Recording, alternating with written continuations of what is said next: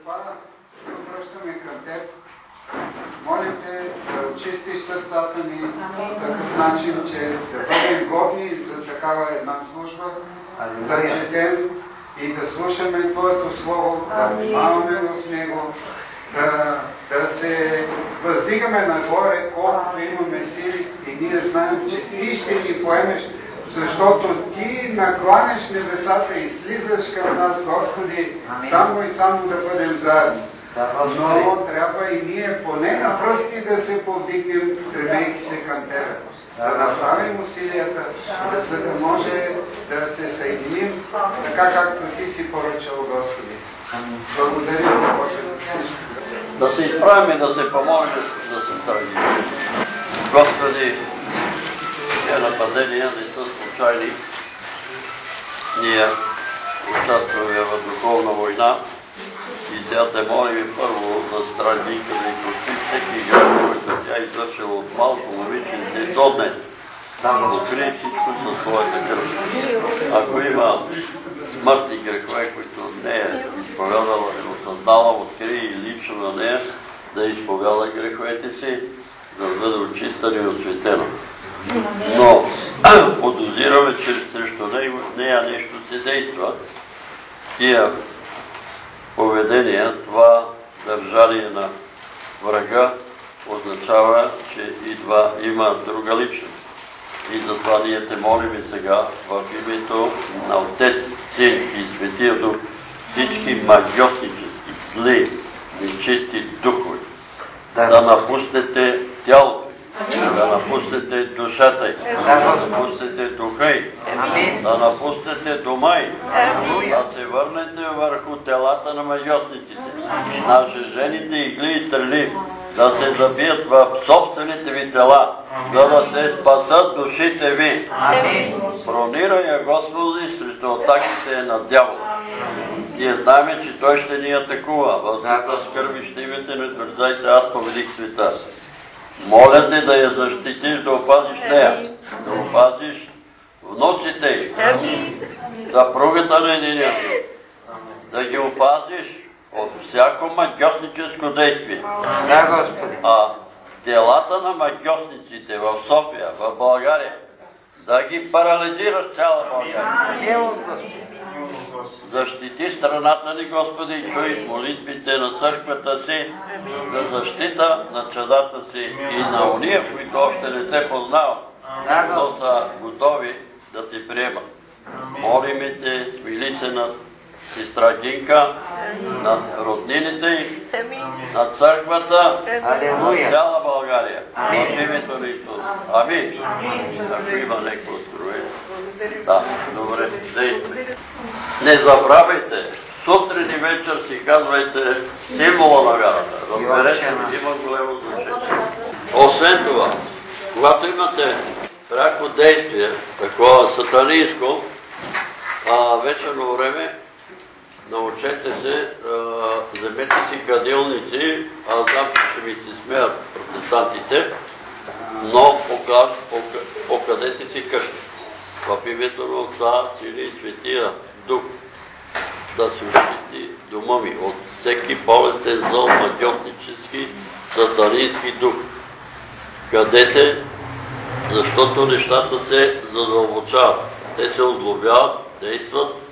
Аз съм свидетел, дойде в Ендикатор един кореец, дадоха му думата на конференцията и вика, о, България е пълна с магиосници и окултисти. И сега ще видите какво ще им се случи. И като да се моли на корейски там, и като почнаха да скачат от конференцията и бегат като куршуми към вратата. Ама бегат. Викат, тия хора са тук в конференцията са дошли. И вие се молите за някой човек, а те кълнат. Разбирате ли какво става в България? Да. И сега ще чуем след песните. Има откровения, аз, Деян, Ели, и сънувал съм и поговорили за тия неща, защото работа става много сериозна. Значи казвам ви това, Даже по-добре сега да не пеем, после да пеем, след това да пеем, защото работата е много сериозна. Първо сънувам сън, че се намирам в църквата на Сол. Идва един мъж и носи някаква апаратура, която е разтвара и тя е така като сребърна лента. Идва до Авона и ми казва, служи си показалеца на лявата ръка, началото на лентата. И аз слагам началото на лентата и започва, чува се неко хваление. Движи си пръста по лентата. И аз се движа пръста по лентата. И тогава чу нашето хваление. А моята молитва, нали, това, което е, се молиме в началото на молитва. Да. След това а, други песни. И стигнах така на такова разстояние от там до тук и изведнъж чувам някакво чудесно хваление, някакво небесно хваление. И в този момент се чуват думи на различни хора се обаждат. И се чуват телефони, звънат телефони. А аз мисля, че това хваление е било, когато аз чета от Словото, Божието Слово. Ангелско. И изведнъж, както това хваление се чуваше като че ли това хваление в небето, и изведнъж всичко млъкна. Млъкна и се чува вътре. Говорене на разни хора, нали, когато всички говорят. И този мъж си прибра тая апаратура, стана ядосан, стана ядосан, отиде, погаси лампите, настана мрак вътре в църквата, из вратата и си излезе. Вие го тълкувайте какво означава. Ели е сънувала съм, че аз съм некъде там и казвам, стройте се.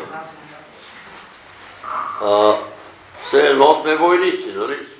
А войниците не моли да, да си говорят, строят, да бърборят и така нататък. Ели е видяла Бойка и Мария и други некои, те ги видяла, нали, бедни ви. Стройте се, защото ви казвам, че ви остава много малко време, за да бъдете изтребени. Много малко време. И сега, в същото време, брат Деян има откровение и аз го моля той да стане и да го прочете точно както е. Става и го чети. Всичко това се дава едно след друго, но преди да го... сега Димчо ви показа по... Прочетеме призив от християнската телевизия на 27 месец всички българи да застанем в пост. Пълен пост. Защото над България идва нещо страшно. На 27 май. На пълен пост без храна, без вода. И аз още сънувах тази нощ, че заедно с Леля ми, която беше вдовица, но тук тя беше по-висока си, отивам на Бачо Киро, за да се помолят за нея и пастирите да я помагат. Обаче хората ходят насам, насам, едни насам ходят, други насам и аз влизам вътре и някаква жена идва и почва да... Какво правиш тук? Какво търсиш? Викам, търся една жена, която влезна тук, трябва да я помажат и да се помолят за нея. И в това време аз се виждам, че тя идва. А, ето е. И ги питам, къде са пастирите? Ами пастирите излезнаха по площадите, защото има призив всички християни да излезат по площадите и да се молят да излезат по площадите и да се молят. И Ивчо ми го пуска по, по, по пътя. Всички християни да излеземе по площадите и да се молим за България. Да се молим България да няма война, България да Господа се смели. Явно, че това, което аз го сънувам, това, което е дадено там, сега дават го по тази българска християнска телевизия, това е призив. Обаче няма ли един пастир там, един мъж да стане и да го каже, ми трябва една жена. Го предлага го някаква сестра там. Защото работата е много сериозна. А ще чуете и това, което е дадено на брат Деян.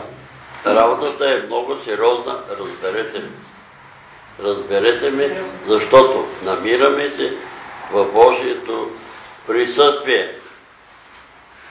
Телефоните си говорят, един след друг се обаждате. Няма да ми се сърдите, но това е истина. Сега, Панчо се обаждаше по-рано, направих му забележка и той спре.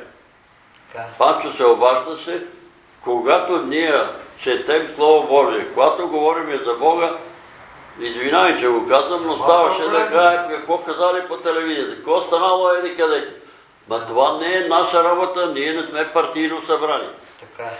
Застанеме ли там, имайте предвид, че когато застанеме тук, това е Божий дом. Какво казва Исус за Божия дом? Божия храм.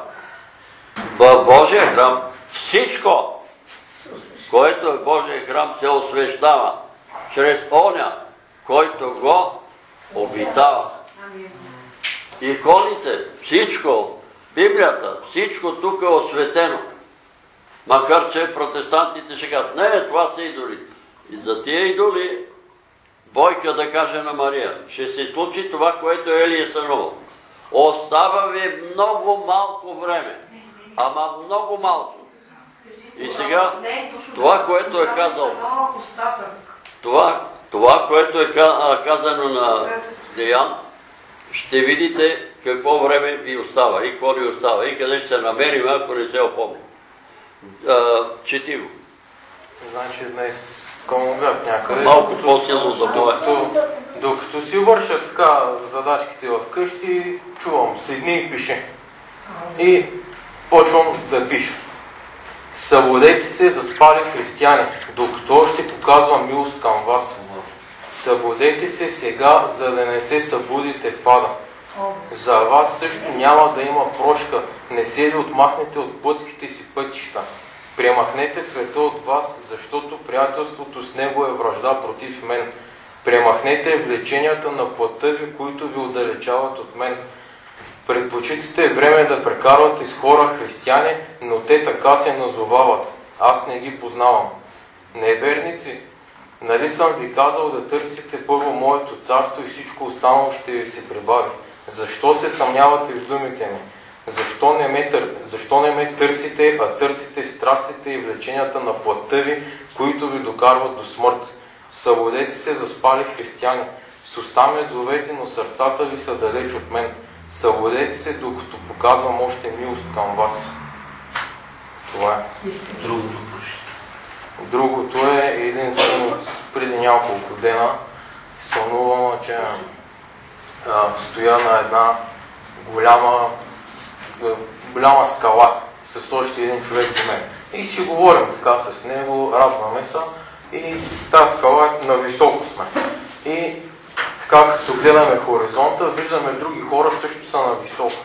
Обаче, като погледнем надолу и на тяхната конструкция беше от такава слама, клечица и много нестабилна, но и те стояха на нашето ниво. Обаче в съня се получава като видение и виждам какво ще стане с тези хора. Идва една приливна вълна и удря всичките кули, където са издигнати, в основите и всичко пада. И само нали, тези, които са на, на тези скали, само там не потрепват. Всичко друго пада. Това е. Коя е тази скала? Исус. Божието Слово. Камарата Христос. Какви са тия кули? Какви са тия кули? Аз съм велик евангелизатор, аз съм пастир, аз съм владик, аз съм митрополит. Аз съм еди кой си. Ти си, това ти е кулата. Аз имам висше образование. Аз съм специалист по еди какво си. Аз съм най-добрия спортист. Аз съм това. Всичко това са кули. Всички тия кули ще паднат. И всичко това е слама. И ще изгори. А времето е много, много кратко. Много кратко. Нали казах ви за едно друго миналия път. Една сестра. Вижда Исус във въздуха и казва второто пришествие. Какво значи това? На прага е. Второто пришествие. Да не ни каже, не ви познавам. Той род не излиза, освен чрез пост и молитва. Какво иска от нас? Това, пост и молитва. И трябва да застанем в този призив сега. Може аз да не ги одобря, вие да не ги одобрявате там. Белев и... Но след като ни призовават, който ще да е, добре и патриарха да стане и да каже, брати и сестри, да застане в пост молитва. Дали аз съм ви казал за тая баба Бона, която я считат за еретичка, но баба Бона е тръгнала с свещеници от село на село. Преди Втората световна война да се правят молебени за мир, Бог да опази България и Бог опази България. Верно и тук разрушиха малко София, но ние сме си виновни. Обявихме война на Англия и Америка. И като обявяваме война, кой иска? А Исус колко казва? Ако някой тръгва на война да седи да си направи сметка с 5000, дали ще издържи срещу 10 000. И къде ще води война България? Аз ги разбирам да дойдат тук американците и англичаните, за да не дойдат руснаци. Обаче обявяваш война, няма ли друг начин? И така че да застанеме на този 27 май един ден. Нема да загинеш, нема да умреш един ден без хляб, без вода. Без хляб и без вода. И друго нещо, нали, съжалявам за една вдовица, която си изпрати съпруга си, няма да казвам вина, е поканила пастирите, мъжа и на смъртно легло и те са отказали да отидат да го помажат.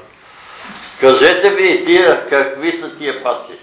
Човека умира, викат го, ако извикат някой свещеник, ще откаже. Никога. Никога няма да откаже свещеника да отиде, умира човек да се помоли за. Защо? Зави, защото ти не си от той не, и той не иска да изпълни нашето желание да се кръщава втори път и да се кръсти децата втори път.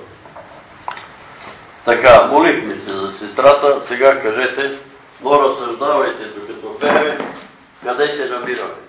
Къде се намираме?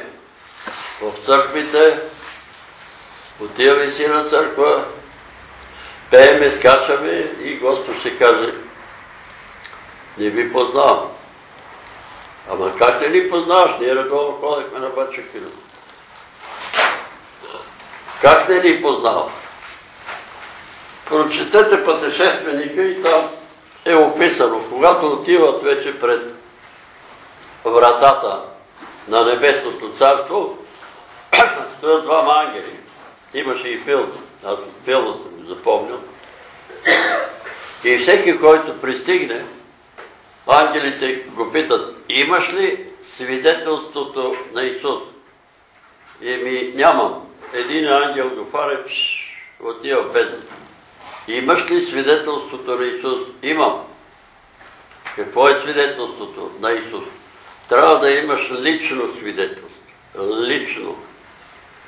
Че имаш общение, че Господ те е докоснал, че те е изцелил, че те е срещнал, че те е говорил лично свидетелство.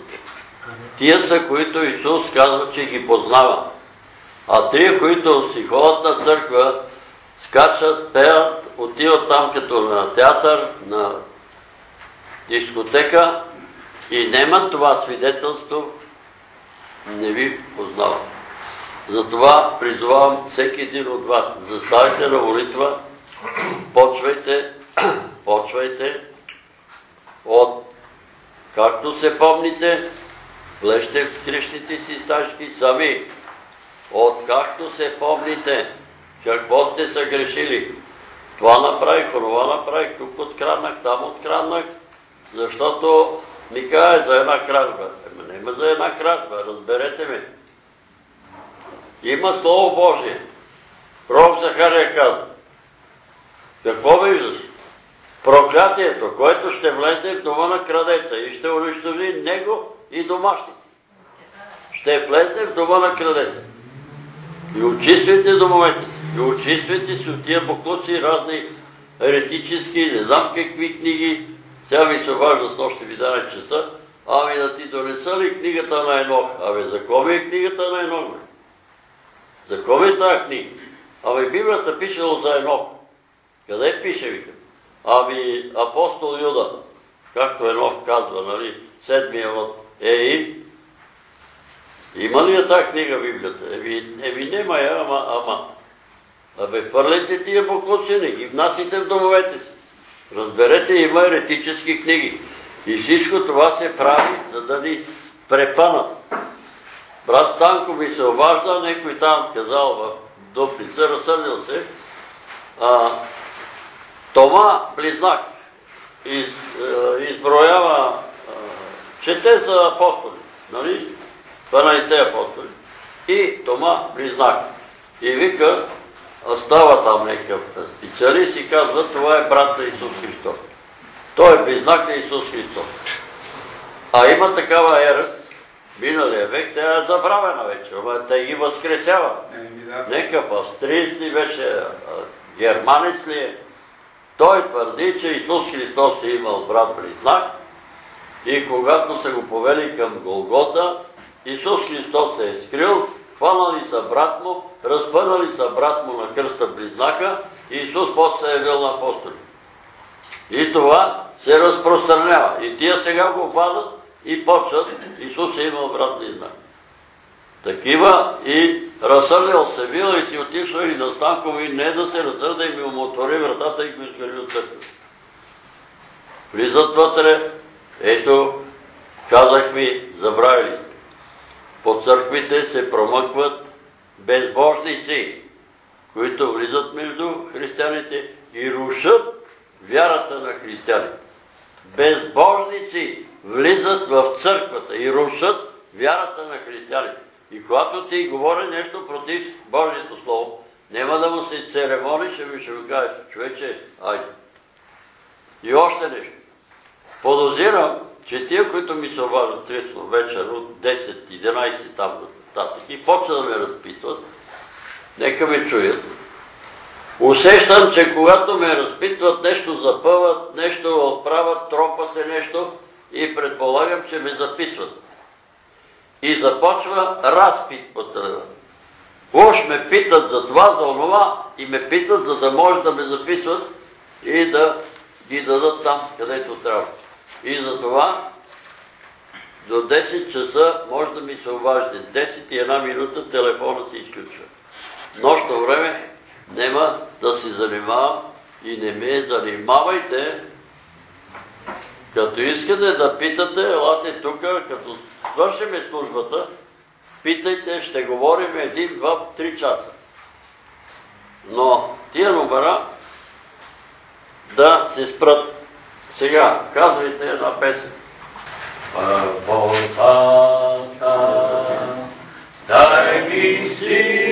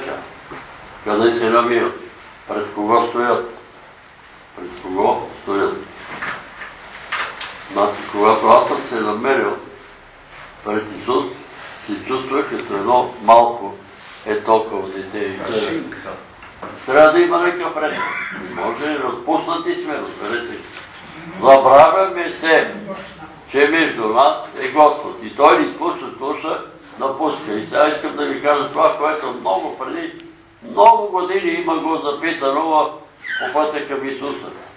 Аз разбирам, че отивам на училище и на вратата ме хваща учителя, ама той учител е Исус.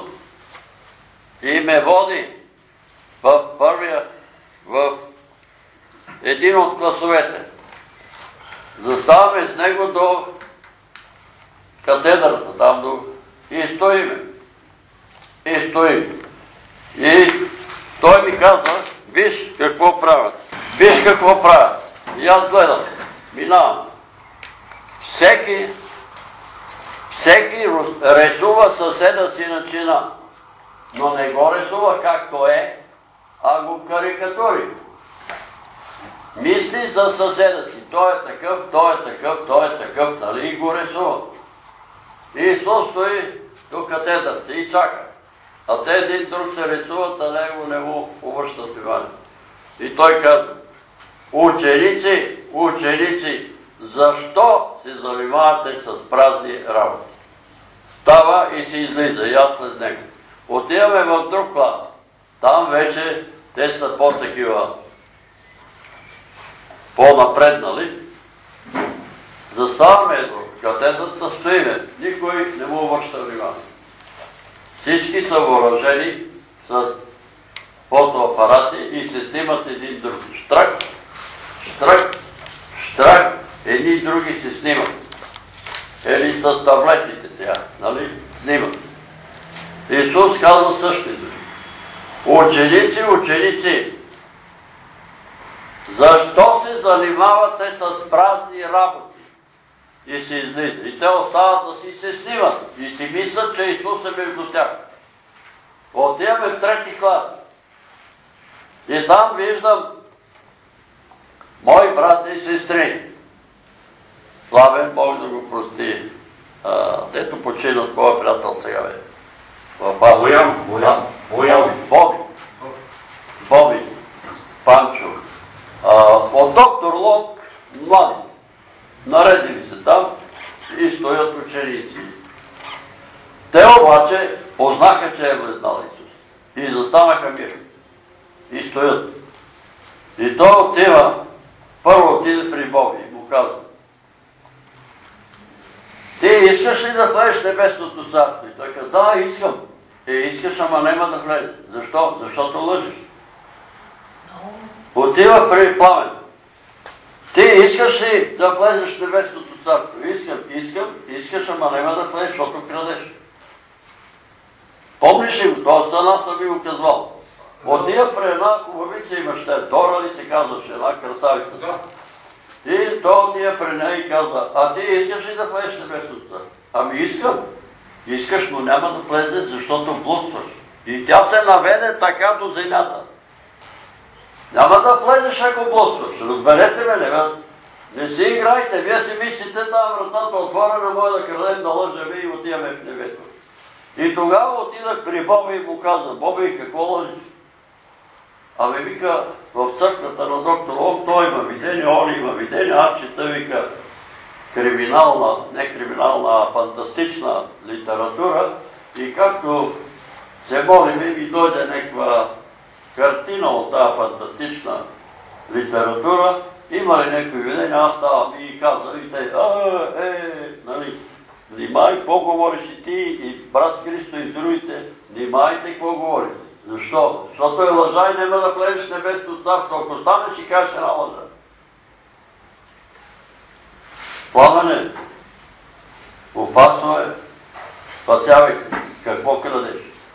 Ме ние вика работиме на точна гара и стовараме вагони вика с Оливия. И вечерно време всички дето сме работили там каманите, по една бутилка в турбата и си вземе по една. Ма то вика само една бутилка. Ма то вика само, ама за една бутилка няма да отидеш в небето. Не я питах, Дора, къде е? Само я попитах, не знам ти дали помниш тогава, защото ми се повтори това нещо за нея.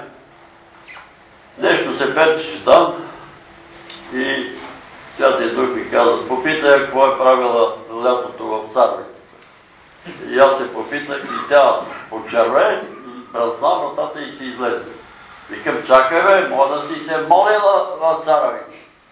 Исус каза на Натанел, видяхте под смоковницата. Какво е правил Натанел? Натанел се е молил. Господи, кога? Нали, Боже, кога ще пратиш Месията? И Месията му идва срещу него. Господ мой, Бог мой. Разберете ме, не, не си играйте с огън. Не, няма да стане, нищо нечисто няма да влезе в небе. Бог е много милостив, аз знам, че е милостив. И затова ли прощавам. И затова ли прощавам. Ние ще прочетем сега първа глава от Яна на апостолите, защото наближава а, Възнесение Господне и там е описан този случай. А после ще си се върнем на Йоанна. И така, първа глава.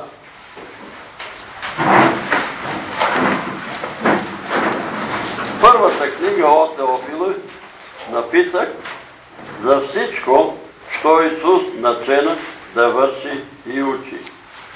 До дена, когато се възнесе, като даде чрез Духа Святаго заповеди на апостолите, които бе избрал на които и представи себе си жив след своето страдание с много верни доказателства, като и се явяваше през 40-те дена и говореше за Царството Божие.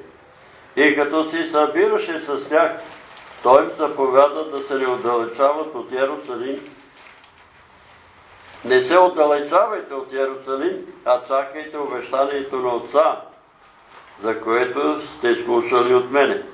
Защото Йоанн кръщава с вода, а вие днес след много дни от днес ще бъдете кръстени Дух Свети. Те проче, като се събираха, питаха го, думайки, в това ли време, Господи, възстановява царството Израилево? А той му отговори, не се пада вам, да знаете времената или годините, които Отец е положил в своя власт.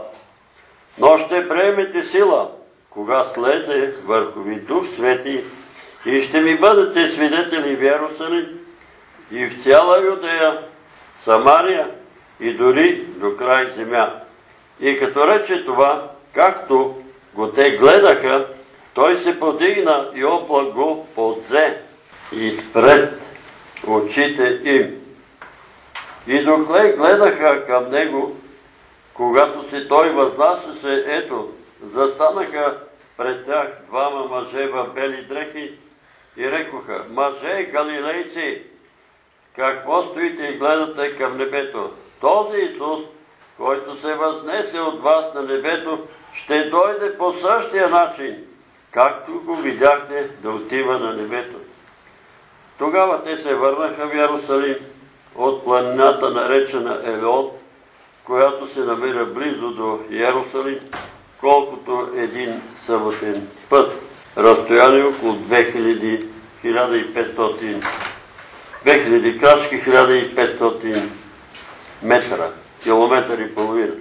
И като дойдоха, възгледаха в горницата, дето и пребиваваха Петър и Йоан, Йоан и Андрей, Филип и Тома, Вартоломей и Матей, Яков Алфеев и Симон Зилот и Юда и Яково. Те всички единодушно прекарваха в молитви и молени, а някои жени, с някои жени и с Мария, майката на Исус и с неговите братя. И в тия дни стана Петър посред учениците и рече, а бяха се събрали около 120 души, мъже, братя. Трябва да се изпълни написаното, що бе предрекал Дух Свети чрез устата Давидово за Юда, водача на ония, които хванаха Исуса, защото той, бе причислен към нас. И получил бе жребие на тая служба, но с заплатата за своята неправда той придоби нива и като се строполи, като се строполи ничком, пръсна се през средата и всичките му вътрешни се изсипаха. И това стана известно на всички жители Иерусалимски, тъй че тая нива на техен език се нарече, а, бе наречена Акелдама, сироч кръвна нива. Защото в книгата на псалмите е писано жилището му да запусте и да няма кой да живее в него и достоинството му друг да вземе. И тъй, потребно е, защото един от тия мъже, които бяха с нас през цялото време, докато пребъдваше и общуваше с нас Господ Исус, начевайки от Йоанното кръщение до деня, когато се възнесе от нас, да бъде заедно с нас свидетел за възкресението му. И поставиха двамата Бамина, Йосифа, именуван Варсава, когато нарекоха Юст, и Матия. След това се помолиха и казаха, Ти, Господи, който познаваш сърцата на всички, покажи от тия двама едного, който си избрал, да приеме жребието на тая служба и на апостолството, от което отпадна Юда, за да отиде на своето място. Хвърлиха за тях жребие и жребието се падна на Матия, а той биде причислен към 11 апостоли. И ако не се лъжа, днес май или утре празника в житята на светиите, имаш ли го? В момента не го. Така, може да седат. Но, прави и предстоеше операция на времето на апандисит. Операцията трябваше да се направи на 13 не знам кой месец. И тя се оплаща защо на 13. Защото много народ вярва на това суеверие, че 13-то число е фатално и страшно. Обаче там някой в болницата и казал, Ма защо се плаща 13? 12 апостоли и 13 Исус. 13 Исус не се плаща. И не операцията, мина, замина всичко и така нататък. Но тук, нали, избират 12 апостол, Матия, този апостол заедно с апостолите, проповядва в Ярусалим, проповядва около Ярусалим, пътува в няколко страни, в Малазия проповядва и накрая се гива като мъченик убит. Вот, убит с камъни. Сега, житието му в а, жития на светиите а, описва точно това, което тук ние прочетахме, нали, как той е бил избран. Но ние знаем от писанията по-натам, нали, Матия е бил роден от а, Витлеем, нали, от Юденото коляно, от апостолите. Знаете, че само Юда Искаротски беше от а, Юденото коляно. Има такова предание, че нали, Исус избира 11-те апостоли, един по един, и тогава апостолите отиват и казват да приеме Юда Искаротски като апостол, защото той е по-учен, може да бъде касиер, да брои парите там, да държи касата. Това е преданието, нали, че Исус казал, аз знам кого съм избрал, но за да се бъдне писанието, нали, ще ви послушам. Тук отново избират човек от юдевото коляно. Но истината е тая, че 14-ти апостол го избира Исус.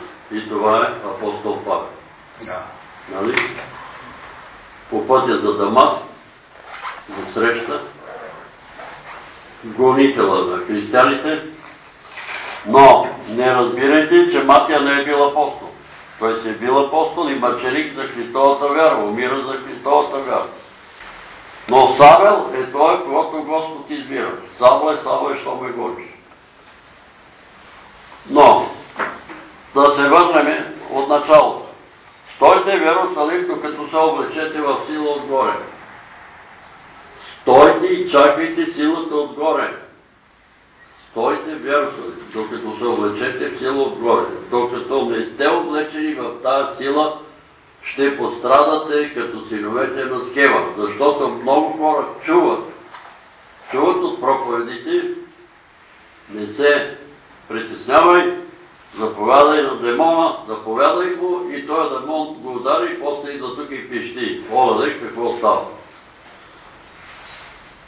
И затова молете се за себе си, молете се за чадата си, молете се, защото страшно ще бъде да видиш детето си да гори в ада. Страшно ще бъде. Защото ти си виновен. Защото не си го водил от малък на църква, не си го викал, не си говорил с него. Миналата вечер говорих с Гергана и казва, докато беше жив Мирослав, ние, той викаше децата, четеше и пивше, говореше, викам, ти вземаш тая служба си. Викаш децата и да спираш, да ги викаш, да си четете от тото. Ама те имат някои въпроси, които аз няма да мога да им отговоря. Ще питаш, се обаждаш на мен, на друг, който познаваш, ще се обаждаш, а най-вече, нали, такъв Акалидалов, когато детето те пита как да отговориш, ти се помоли вътре в себе си. Господи, как да отговоря на детето? Какво да му отговоря? И отговорът ще дойде. Но не ги заразвайте така, да се отървете от тях, да ги пуснете там да върват при приятелите, да върват по мачове, да върват некъде, за да не ви притесняват.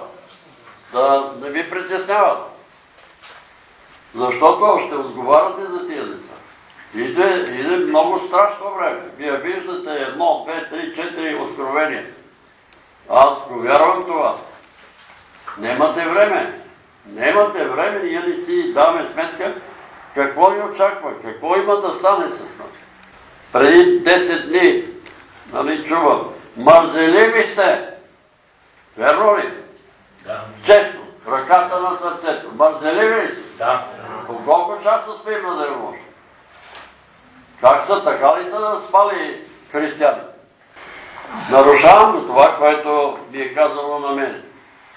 Сънувах свети Иван Рилски във въздуха и ми казва, как се казва тая, полунощница, всяка нощ да бъдеш на молитва. Посред нощ, всяка нощ да си на молитва. Ма как да съм на молитва, когато аз си лега в един часа? И нощта минава. И затова после ми беше казано, в 10 часа да си в леглото и в 4 часа да си на молитва. И това го правих известно време и усещах как се съживявам. Усещах, че Господ ме посещава. През нощта усещам помазание. И след това почнаха забавленията. Обаждат ми се в 12, в 11 да ми говорят за това, за това, да ме разпитват като следователи. Нали, това ще кажеш, това да кажеш. Което няма абсолютно никаква стойност. И затова трябва да се свестим и това се отнася и за мен. 10 часа на леглото, 3 часа на молитва. През нощта ставайте.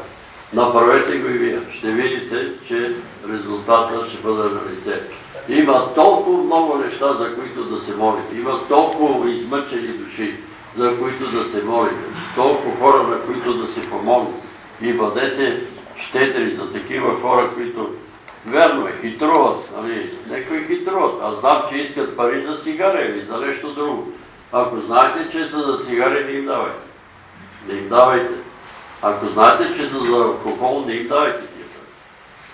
Защото Данчо това Деял ме попита. Ако дам една един литър гроздова или слива рекия на един приятел, един съсед, и той се напие, седне в колата и убие човек. Аз съм съучастник и съм и да, съучастник. Съучастник си, защото ти си виновен, че си го напоял. И второ, като си го видел, че се качва на колата, трябваше му давиш един шамар да го хване за крака и да не му позволяваш да се качи на колата. В това, в това дередже. А ние чуваме сега, нали? И сега ми да, да се молиме Бог да спре. Как Бог да ги спре, пияни карат по улицата. И тия, които са и приятели, ми видехме от Чепина, нали, написа и кача, каче се и тръгна. Еми, спрете го. И вие сте съучастници. Вие сте съучастници. Спрете го. Стойте в Иерусалим, докато се облечете в сила отгоре. Какво значи? Да седнат и да стоят там. Да стоят. И те се събираха около 120 души, нали, апостолите, майка му, святите жени, които му прислугваха. И какво правеха? Еми, денем и нощем се събираха и се молеха, четеха Божието Слово, размишляваха върху това, което им беше говорил Господ. И припомняха си един на друг, за да може утре да разпространят това Евангелие. Докато се и ще приемете сила, кога дойде върхови Дух Свети и ще ви бъдете свидетели в Иерусалим и в цяла Юдея и Самаре и дори до край земя. Кога ще приемете тази сила? Когато сте на молитва. Нема да я приемете, ако сте се легнали и си спинкате. Тя няма да дойде тази. Тя трябва да дойде, когато сте на колене. И когато викате сила, дай Господи, облечи ни сила, дай дръж меди. Нали така бяхме напред. Викайте за да ви облече Господ, да ви облече и мен и вас в сила отгоре. Освен това, ще приемете Дух Святи. И тук много християни ще се събудат, дето дето не трябва да бъдат, защото се присмиват и се подиграват с кръщението с Дух. Кога? Исус каза, всеки град ще се прости на човеци и всяка кула ще се прости против човешкия си. Но против Святия Дух няма да се прости нито на този или на този свят. Коя е тая кула? Кога го казва? Когато изцели един безстоен в синагогата, и фарисеите казаха и книжниците с началника на Велзевул, с Велзевул, началника на безовете, бесовете изгонва бесовете. Това беше хулата на фарисеите. И този грах няма да им се прости, нито на този, нито на този свят. И когато някой се моли и чрез името на Святия Дух нали, изгонва бесове и той казва, той е екстрасен. И чрез началника на бесовете изгонва бесове. И след едно такова изцеление, един мой приятел, с когото заедно ходехме на църква на Бачо Киров, той ми изпрати до спирката и там на вратата, преди да се кача на трамвайна, ми каза, ти си екстрасенс. Ти си екстрасенс. Ти изгонваш бесовете чрез енергии и какво беше друго. И аз му се моля и му викам, откажи се от тия думи. Никакъв екстрасенс. Аз не съм изцелил човек от... Аз не съм изцелил човек от хрема. Разбери, Господ ги изцелява. Божия дух ги изцелява. Исус казва, ако чрез Божия пръст изгодва бесове, дошло е до вас Бог. Не, ти си екстрасенс. Качи се на трамвая и повече не се видяхме. След няколко дни го намериха починал. Ти си екстрасенс. Внимавайте какво говорите. Или пък, тия говорят на езици, но тия езици са от дявол. Това е масово явление в Баптистската църква, в други, в православната църква. Тия, дето говорят езици, езиците им са от дявол. Как знаете, че са им от дявол? Ами некви будисти и те говорили на езици. Те будисти си отговарят. Какво казва Господ? Какво излиза от твърдението на тия брата и сестри? Излиза, че Бог Отец, нашия небесен Отец, когато сме му поискали хляб, ни е дал камък. Когато сме му поискали риба, той ни е дал змия. Когато сме му поискали яйце, той ни е дал скорпия. Това означава, когато се молиме, Господи, ето ме, употребиме или дай ми дарба, която на Тебе ти е угодно, както на Тебе е угодно, и останалите казват, а, да, значи хвана го дявола, поча да горе редици. Това е хула против Святия Дух. Разберете, много хора ще се окажат, че Исус ще им каже, не ви познавам. Не ви познавам. Или дава след това пророчество. А, за мен това е действие на Святия Дух. Така говори Святия Дух. Не е верно, че Той говори. Исус ви гледа с голяма любов и изпада в умиление колко много ви обича.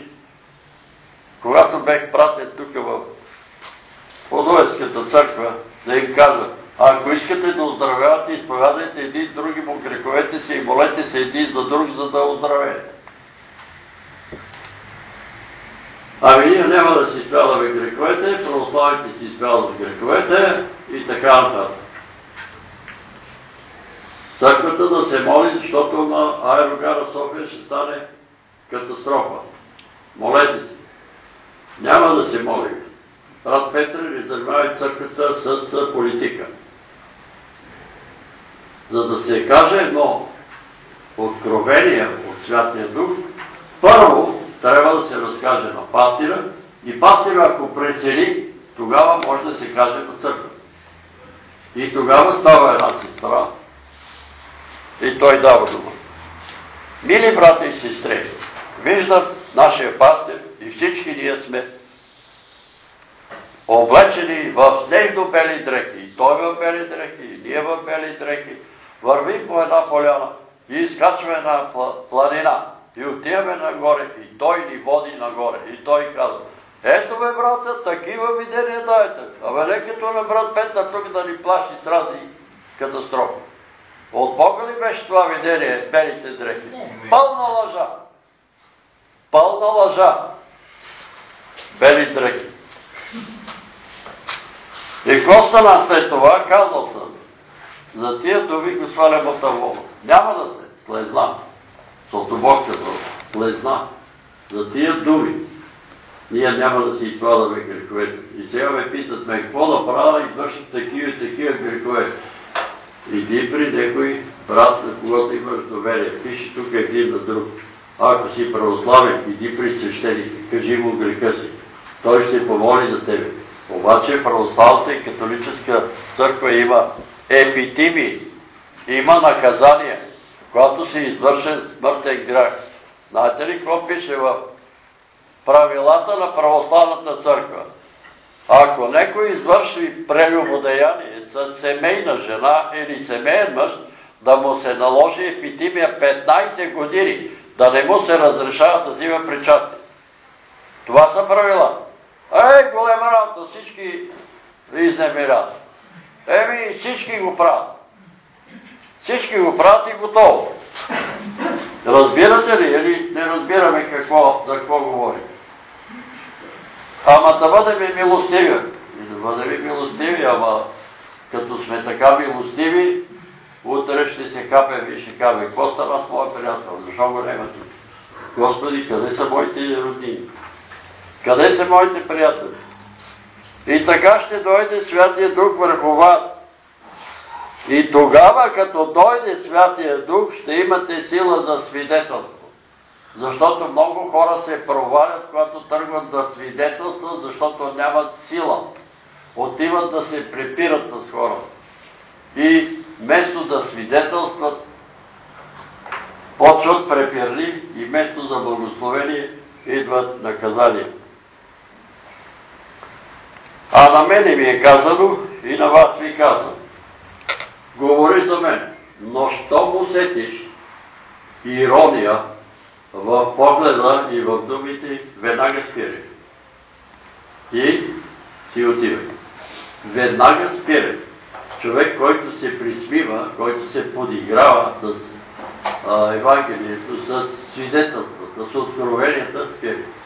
Не се занимавайте. Не се занимавайте. Защото ще похули Святия Дух, ще се присмее на откровението и после може да съжалява много. И така, и като рече това, както го те гледаха, той се подигна и обзе го и облак го подзе напред, пред очите им. И докато гледаха към небето, когато се той възнасяше, ето застанаха пред тях двама мъже в бели дрехи. Кои са тия двама мъже? Това са ангели, които им рекоха. Мъже Галилеяни, както стоите и гледате към небето, този Исус, който се възнесе от вас на небето, ще дойде по същия начин, както го видяхте, да отива на небето.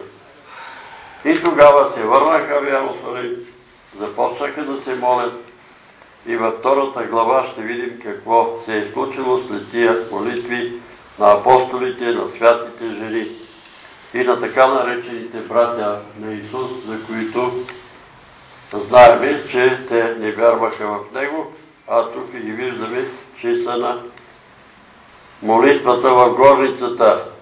И тогава апостол Петър стана, за да предложи и да каже какво се е случило с Юда Искариот. И сега ми се обаждат брати и сестри и казват, какво толкова е станало, като някои пастери и владици и свещеници са били информатори на държавна сигурност. Какво толкова е станало? Ами, апостол Петър така трябваше да каже. Брата и сестри, какво толкова е станало, като Юда Искариотски предаде Исус? Еми, дайте да му простиме, нали, да дойде между нас и пак да си бъде апостол. Само, че не можеше да дойде, защото преданието говори, че той се е близо до стената на Иерусалим, се е обесил на някакво дърво и това да клоня, на който се е обесил, се е отчупил и той е падал от високо долу и се е разпорил и са изтекли, както тук четете, защото не може то един метър. Нали. Това е преданието и така е загинал. И какво да правим с тия хора? Ами апостол Петър три пъти се отрече. Та, братя, така е. Три пъти се отрече. И какво стана после? Отиде при Исус и каза, учителю, съжалявам, че три пъти се отрече. Кама, нали? Какво направи апостол Петър? Горко плака. Плачете вие, които сте били агенти на държавна сигурност. Плачете! Викайте за милост! Плачете, не дейте да си въобразявате, че Бог е много милостив. Бог е много жалостив. А знаете ли, че по това много милостив и жалостив, някои хора, които сте ги предали, са били ликвидирани тайно, че са били ликвидирани по такъв начин, за който аз имах откровение за Христо Количев, че го облъчват слъчево оръжие, че го хранат там в Ножарево с изотопи. И когато казах на жена му, тя му казала и той е казал. Това не е вярно. Ръководството на завод на, там, на концлагера ми разрешиха да си направя отделна стая, където да се предава на молитва. И си направи отделна стая, измаза си я, направи си стая, да живее отделно, за да се предава на молитва. И като почна да се предава на молитва, след една, месец, след една седмица дойде, главата нещо стана, очите му не вижда, те го облъчваха през това време и дойде тук да се лекува. Не вярват, проповядват го, старците ще сърват съвеща, младежите ще виждат видения, обаче, когато младежа стане и го каже, или стареца каже съна, това не е вярно. Това не може да бъде. Не може. Началника на концлагера е много добър човек. Той се е загрижил как християните да се молят на Бог. Как да се молят за Бог? Обаче, какво ще стане с тия, които са го предали? Какво ще им се случи? Знаеме какво ще им се случи. И за съжаление това ще се случи с тия, които не искат да се покаят. Сега е времето за покаяние. И който е бил такъв служител, пак не искам да ви казвам, че ние не казваме, че самата институция, държавна сигурност е нещо нечисто. Това е мръсна дума. Не е мръсна. Всяка държава има нужда от сигурност. Ама как се пази сигурността на България?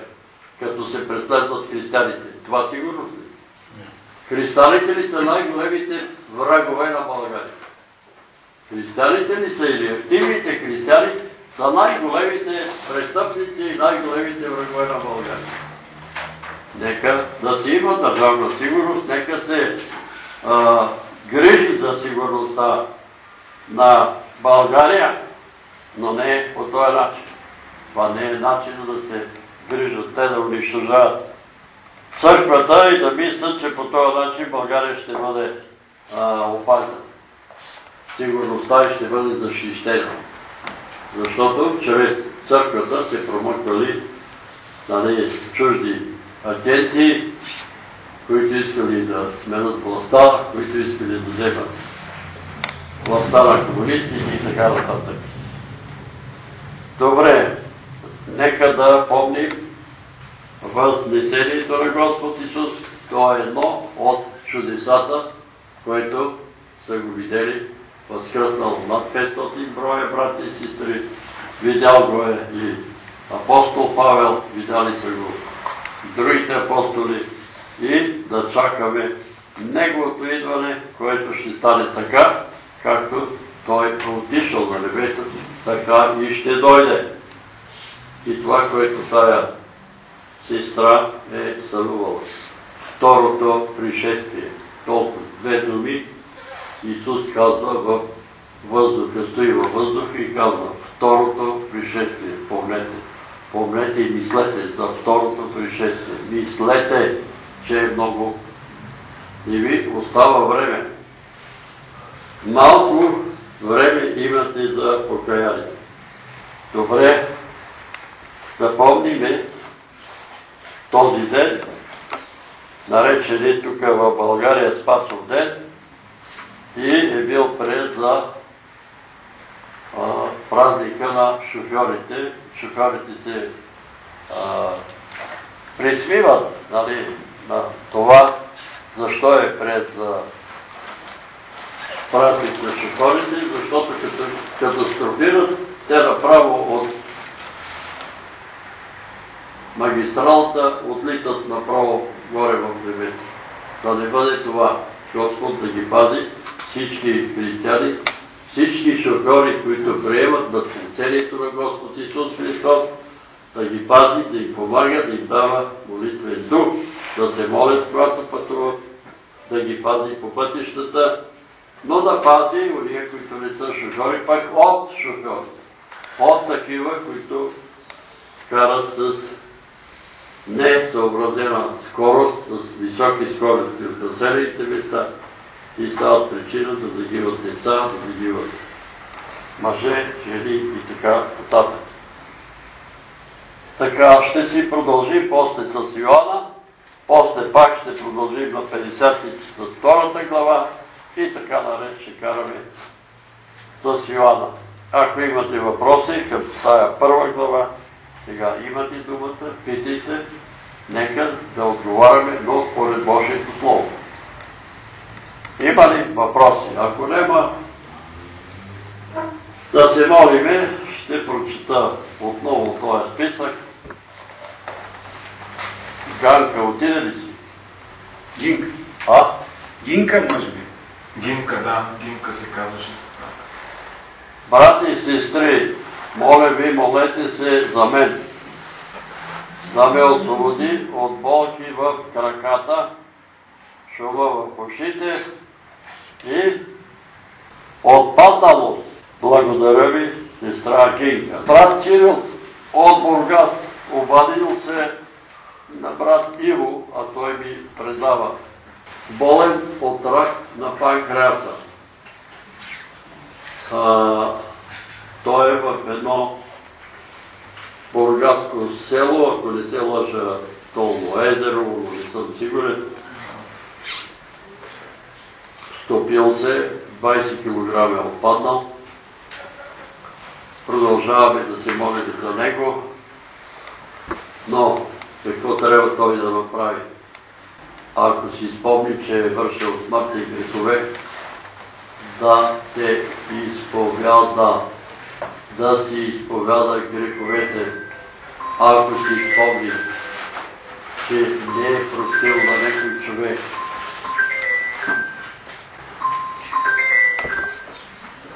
да прощава, за да има резултат. Това, че намалял 20 кг, няма никакво. Моя баща беше станал кожи и кости, когато Бог го изцели от рак на панкреаса. Той също не му се ядеше, защото панкреаса не отделя елементи, не отделя ония елементи, с които се смила храната, които трябва да отидат в жлъчката, в жлъчката черния дроб, да се излеят от стомаха, в червата и храната да се освои. Няма ги. Панкреаса е запушен от това образование. Да се молиме, да бъде отпушен. Тук се молихме за една сестра Мария от Елипели преди няколко години. Тогава горе се молихме. И когато се молихме, нали, аз така се помолих, както при баща ми беше. И тя извика, точно така е. Молихме се, тя се възстанови, започна да се храни, минаха години, отидахме в Еликали, но тя също не надстава килограми. Но имаше причина. И беше простила от сърце на брат си, защото брати искат да вземе част от, от имота на родителите. А имайте предвид, че този ней брат е пастир на 50-та църква. На него са му дали на пастира един етаж. А те, двете му сестри, са вземали един етаж и са го разделили на две. Имота градината е разделена на две. Едната част е за сестрите, нали? едната част за брата. Обаче той отида там и почва да, да гради, да взима на сестрите си от имота. И когато зет му му е казал да да не прави това нещо, той е замахнал с един железен кози крак, знаете го, нали? Да, да. Ето се вада. Замахна и ако го удара по главата, ще го убие. И тия хора се намират в такова отношение. Брат и сестра. Разберете ме, мирният договор въжи, когато от сърце простиш на брат си и на сестра си. Ако не простиш на сина си, на дъщеря си, на снаха си, на свекървата, ако не им простиш, на празно се отричаш по верния договор. Ако вие от сърце не простите прегрешенията на човеци, нито вашия небесен Отец ще прости вашите прегрешения. Няма да ви прости. И ще се намерите в ада, защото не сте простили. И ги обвинявате в неща, които не може да ги докажете. Предполагате, че това е така. И ще събудите в ада, защото не можете да простите. Ако не можете да простите, знаете ли кой е, какъв дух има в вас? Това, което казва свети Йоан Крущатски. Човек, който не може да прости, в него е духа на Антихриста. Духа на Антихриста не му позволява да прощава. Това е истина. И огледайте се и ще видите, като не може да прощавате на какъв дух сте и кого защищавате. Дали защищавате християните или защитавате уния, които ги гонят. Или антихристите, които хулят Христос. Вижте на коя страна. Защото с духа на антихриста няма да може да влезе небесното царство. Трябва да се откажем, да се отречем, разбирам. Майката, баща ти, баба ти, дядото са били комунисти. И вие трябва да ги поддържате и те. Защото те са били такива. Те са били и вие трябва да ги поддържате. Аз ви казвам, комунисти се покаяха, генерали повярваха. Покаяха се, вие сме свидетели, тук може би е било в този блок с Количев преди генерал от. Откакто се качих на самолет, аз винаги се моля. Аз се моля. Разбирате ли Коста? Обаче тия, които са закоравени и казват, че изкореними християнството, поповете ще ги направим за смех, ще ги накараме, ще ги унижаваме, ще ги избиваме, ще унищожим християнство. Няма да, да го унищожите. Защо? Защото Твореца на Вселената казва Портите адови няма да наделят на църква. По никакъв начин. Каквото и да правите. Да разрушите всички църкви. До една. Да избиете всички монаси и свещени. Няма да разрешите, да разрушите църква. Не можете. Защо? Защото сте много по-малки от това, който държи Вселената.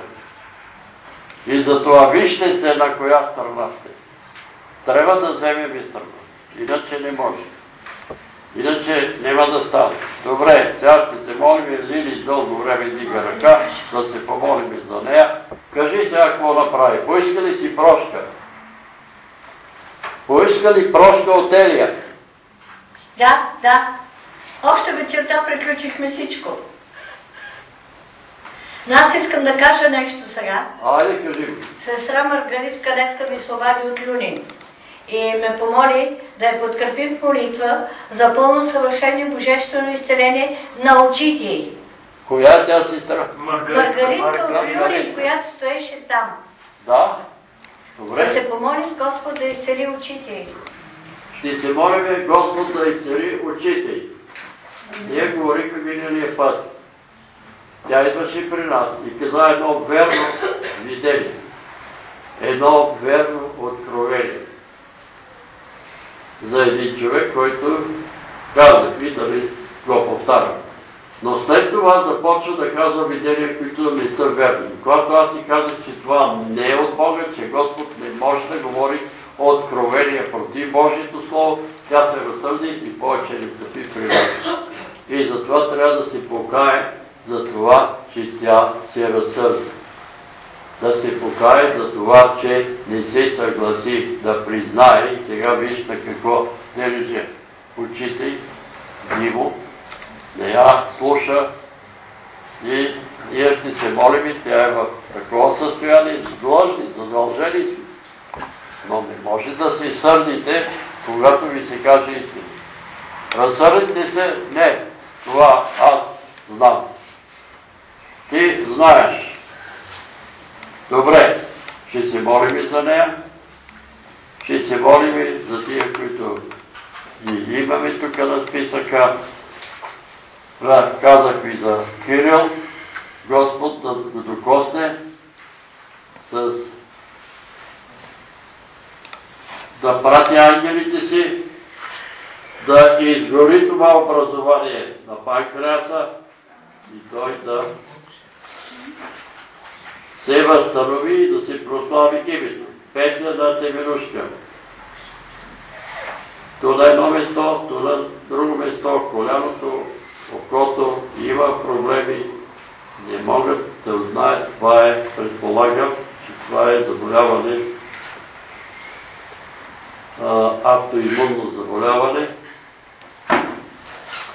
Мариан от Велико Търново, знаете историята, съвършено изцеление. Брат Павел вече не може да, стя, да става. Знаете историята, той искаше да се оперира. Няколко пъти идва при мен, имал откровение, лекарите са му казали, че като се оперираш и ти ще ходиш, ще благовестваш, ще Господ ще направи пред мен и пред Димчо, ще го направи велики евангелизатор, обаче сега е, знаете как е. Историята е и с Петровир. Същата история, оперирали са го и сега е петон труп на памперси. И нали, там пастир казва, искат от там, а, как се казва, Хоспис. Хоспис. От хосписа 1500 лева на месец, за да се грижат за него. Али аз му казах, ние може да съберем 1500 до всеки месец, не можем. Не можем да правим по 1500 лева на месец. За това, защото макар че неговата операция аз греших, когато казах горе долари, неговата операция е струвала 2000 евро. Не, 20 хиляди евро. Извинявайте. 20 хиляди евро е операция.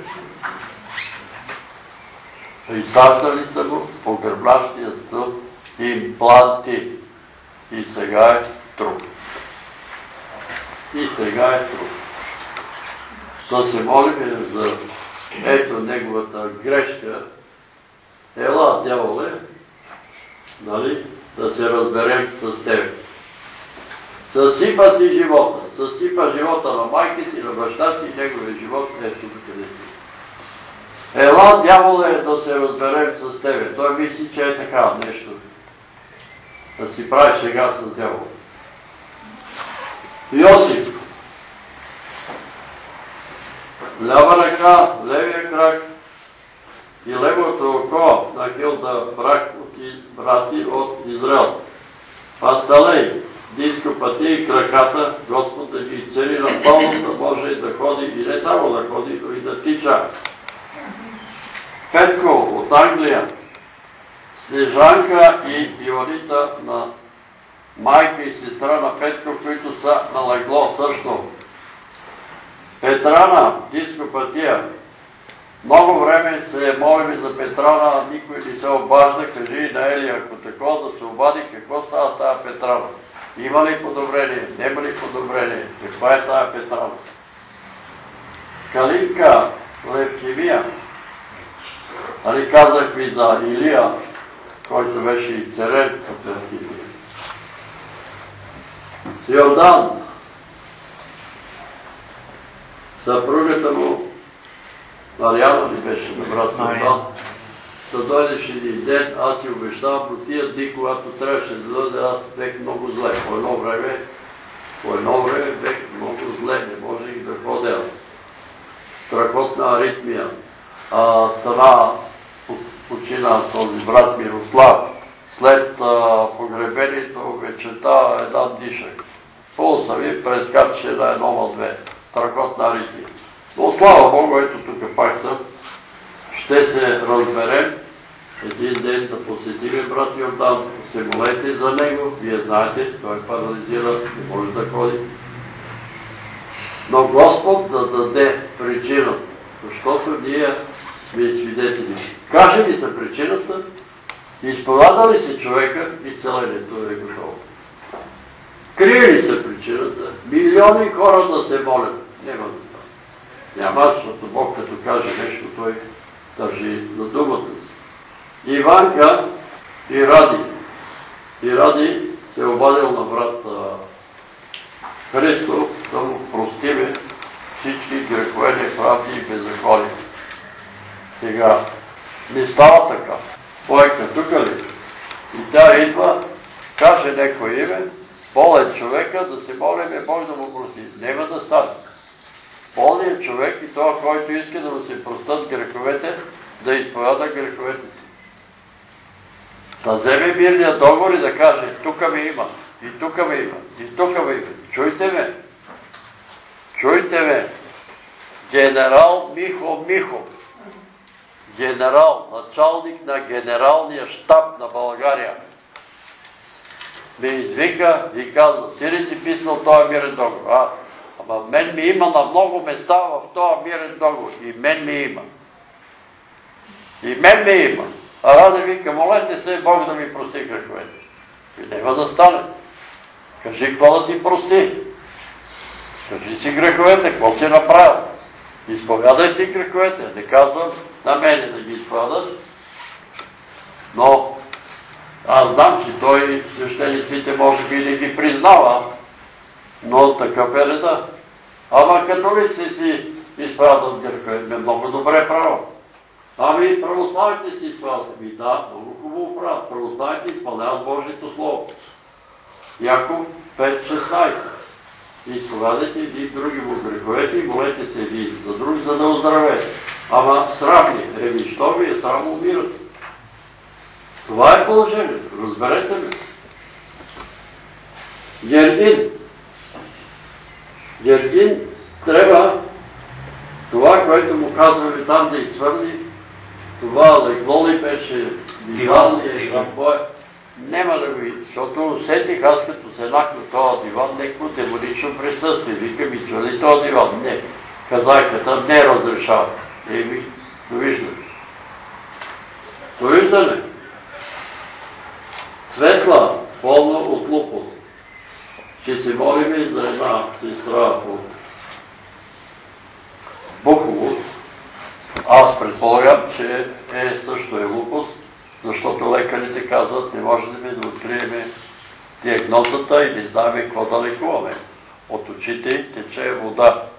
От тялото и тук, там, некъде тече вода. Как се казваш? Ваня. А? Ваня. Иванка ли? Иван. Ваня и викаме Ваня. Ваня. Иванка. Иванка е сигурно.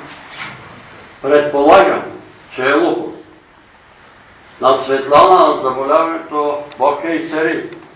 Но аз съм сигурен, че това беше магиоснически духове, беха намазали вратата на апартамента с някаква марсотия, като с зим, като с нещо, като и тя го е чистила цял ден и след като е чистила вратата, на други ден пада, по същия начин вода тече от очите тук рамената й бяха подпухнали като, като когато човек е изгорен.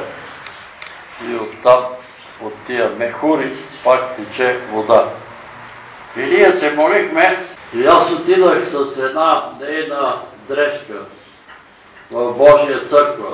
И си спомням, кой помаза дрехата. Дали брат Павел или брат Борис.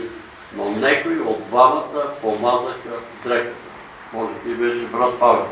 И аз занесах тая дреха в болницата, в Евието лежеше и когато говорихме от очите и течеше вода.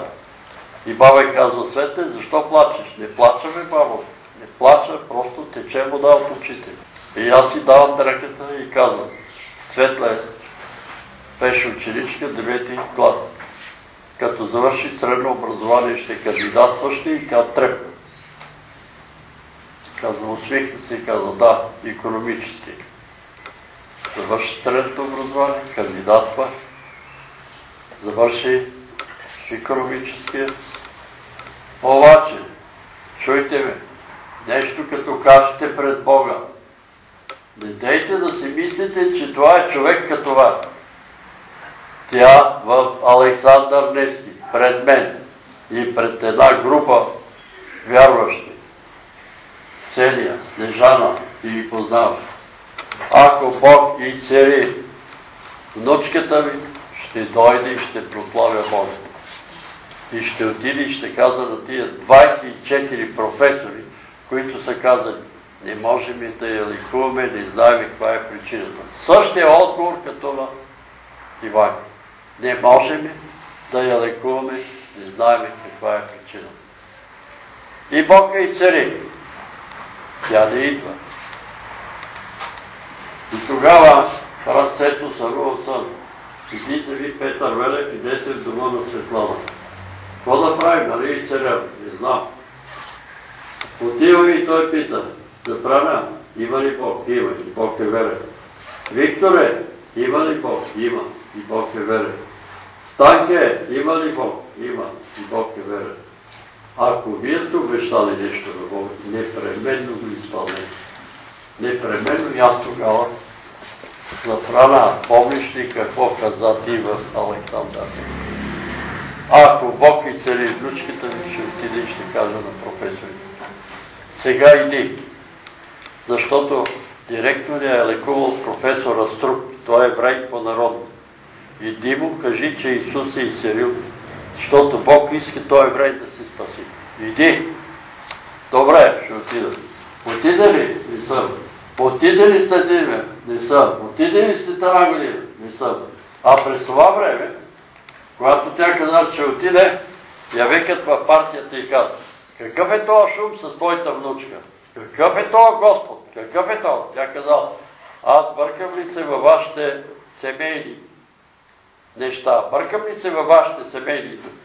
Не ми се бъркат. Но не отива. А освен това от партията им раздадоха някакви пари, с които пари си купиха кола. Нали? По едно време, къде знаете, той е локално. Са им дали една хубава, нова кола си купили и сега как да отиде? Абе, жена, абе, иди и кажи на то еврейте, кажи му. Ти нали знаеш от какво беше болна Светлана? Знае. Можеш ли да я целиш? Не може. Сега здрава ли? Здраве. Знаеш ли кой си? Кой? Исус. Кажи го и си отивай. Не отивай. Светлана се разболя. Вече е на 29 години. Молиме се ние в Конгрешанската църква на това събрание. Има две видения. Едното видение на Янко, брат Петре, в този дом се развява червен байрак, да се изхвърли червения байрак, ако искат втори път дъщеря им да бъде изцерена. Идва една сестра при мене, брат Петър, каза ми се, но не смея да го кажа, настрани там да отиде. Какво? Бабата и майката да се откажат от партията, това е условието Светлана да бъде изцерена. Отивам им казвам. Те помислиха и казаха, не можем да се откажем от партия. Нашия живот, нашата младост е минала, са минали с тази партия. Няма да се откажем. Викам, аз ви казвам, свободен съм, тръгвам си и в този момент на Светланите ми става много зле. Тя казва на майка настигни Чичо Петър, настигни го и му кажи, че се отказваш от тази партия, защото аз умирам. Обаче тя не ме настигна и след два дена Светлана си замине и аз се сънувам бели дрехи на един балкон. И се обажда. Душата е спасена, но разбирате ли ме какво ви говоря? Говориш нещо и казваш на Всемогъщия Бог ще направя това и не го правиш. И не го правиш и считаш, че това няма абсолютно никакво значение. Ето резултат. Хората не могат да си опазят тия чудесни царени. Павлина Барковска я знае. Рак. на гениталите, на чернието, разсейки, метастази по вътрешните органи. Чудесно изцеление за един миг. Доктор Бобчев я пита, кой ти изцели? Вие, доктор. Какво? Аз? Отива, прибира се дома, болките почват. Доктор Бобчев, излъгах ми, знам, че ме излъгах. Аз знам и едното, и другото изследване. Бог ме изцели. Не може друг да те изцели. И след две години, след две години, вместо да дойде тук и да каже, отиде на работа, почна да си работи конструкторка, да дойде и да каже, да прослави Бога, почва да разказва виксове против Бога. И пламен заедно работеха. Павлина! Обаче тя продължава. Рака се върна и унищожи за много време. За една нощ. На другия ден беше в 5 часа си живи. Не могат хората да си опазват и целението. Те си мислят, че това е пазарлък с Бога. Нали? Отиваме, Боже, ти ми цели, благодаря ти и така. Разберете, намираме се в Божия дом. Тук присъства Божия дух. Тук присъства Святия Дух. Тук присъстват ангели. И когато кажеш и нещо кажеш, аз ще направя това и това и това, това нещо си записва. И когато не го направиш, ти лъжеш Бога. Ти лъжеш Бога. А когато Бог каже, направи това и това, а ти казваш, това не е верно, тогава ти правиш Бога лъжен. А Бог на никакъв, на никакъв човек или какъвто и да е владика, патриарх, няма да позволи да си да свърши името му по никакъв начин с каквато и да е лъжа, защото Бог е абсолютна истина. Не се опитвайте, не си давайте, не си позволяйте да мислите, че аз ще кажа това или онова. Казвай църквата си. Добре, продължаваме за другите. Кертин, Маргарита, Паркинсон. Петка Одобри, знаете какъв има проблем с нейното отделителна система. Григор, парализиран в Бухово, не Бухово, а в Отонец. Кристина на Розалия, моля ви се по-усърдно се молете Бог да открие причината. Людмил, който иска да самоубие. Валдимир между нас. Емилия и Кристина, болни от шизофрения. И тук съжалявам, че ще ми се разсъди тази сестра, но трябва да го кажа. Бехме с Димчо Отек и там е пуснат телевизора, по който върви релаксираща. Но има още нещо. Една сестра ми се обади, каза, че е забелязала нещо. Когато много употребява таблета си или телефона си, вечерта страшно я боли главата. Страшно я боли главата. И тогава тя решила нали, да прави дни, в които да затвори телефона и да не говори. Тогава през тия дни главата боли. Какво върви по тия телефони? Освен проповеди, освен свидетелства за Бога, върви и една релаксираща музика, която е включително и на свидетелствата на Илия Милов. Тая релаксираща музика приспива, отваря мозъка, ние не знаем какво става, но нахлуват, нахлуват сили, които не са, не са добре дошли за нас. И да не казвам, защото тя ми каза да не казвам какво се е случило, случило с телефона ни, но Типчо може да ми каже какво се е случило с неговия телефон. Чупил се. А вие знаете на мене какво ви каза Господ. Една голема дълга ръка взема телефона и го изхвърли на мен. Освен това, подозирам, пак ми казват, че тия, които ми се обаждат, да ме питат за разни неща, които не са важни, ме записват. Пастир Илчо Тотев ме покани от тех на гости, събрал няколко души. Искаме, брат Петре, да чуеме твоите свидетелства. Обаче аз усетих, просто ви даде святия дух, че ми записва. Той е турнал под кревата записвачката и записва. И затова свидетелствата ми беха много къси и не такива. Разберете ме. Води се духовна война, в която всички ви участват.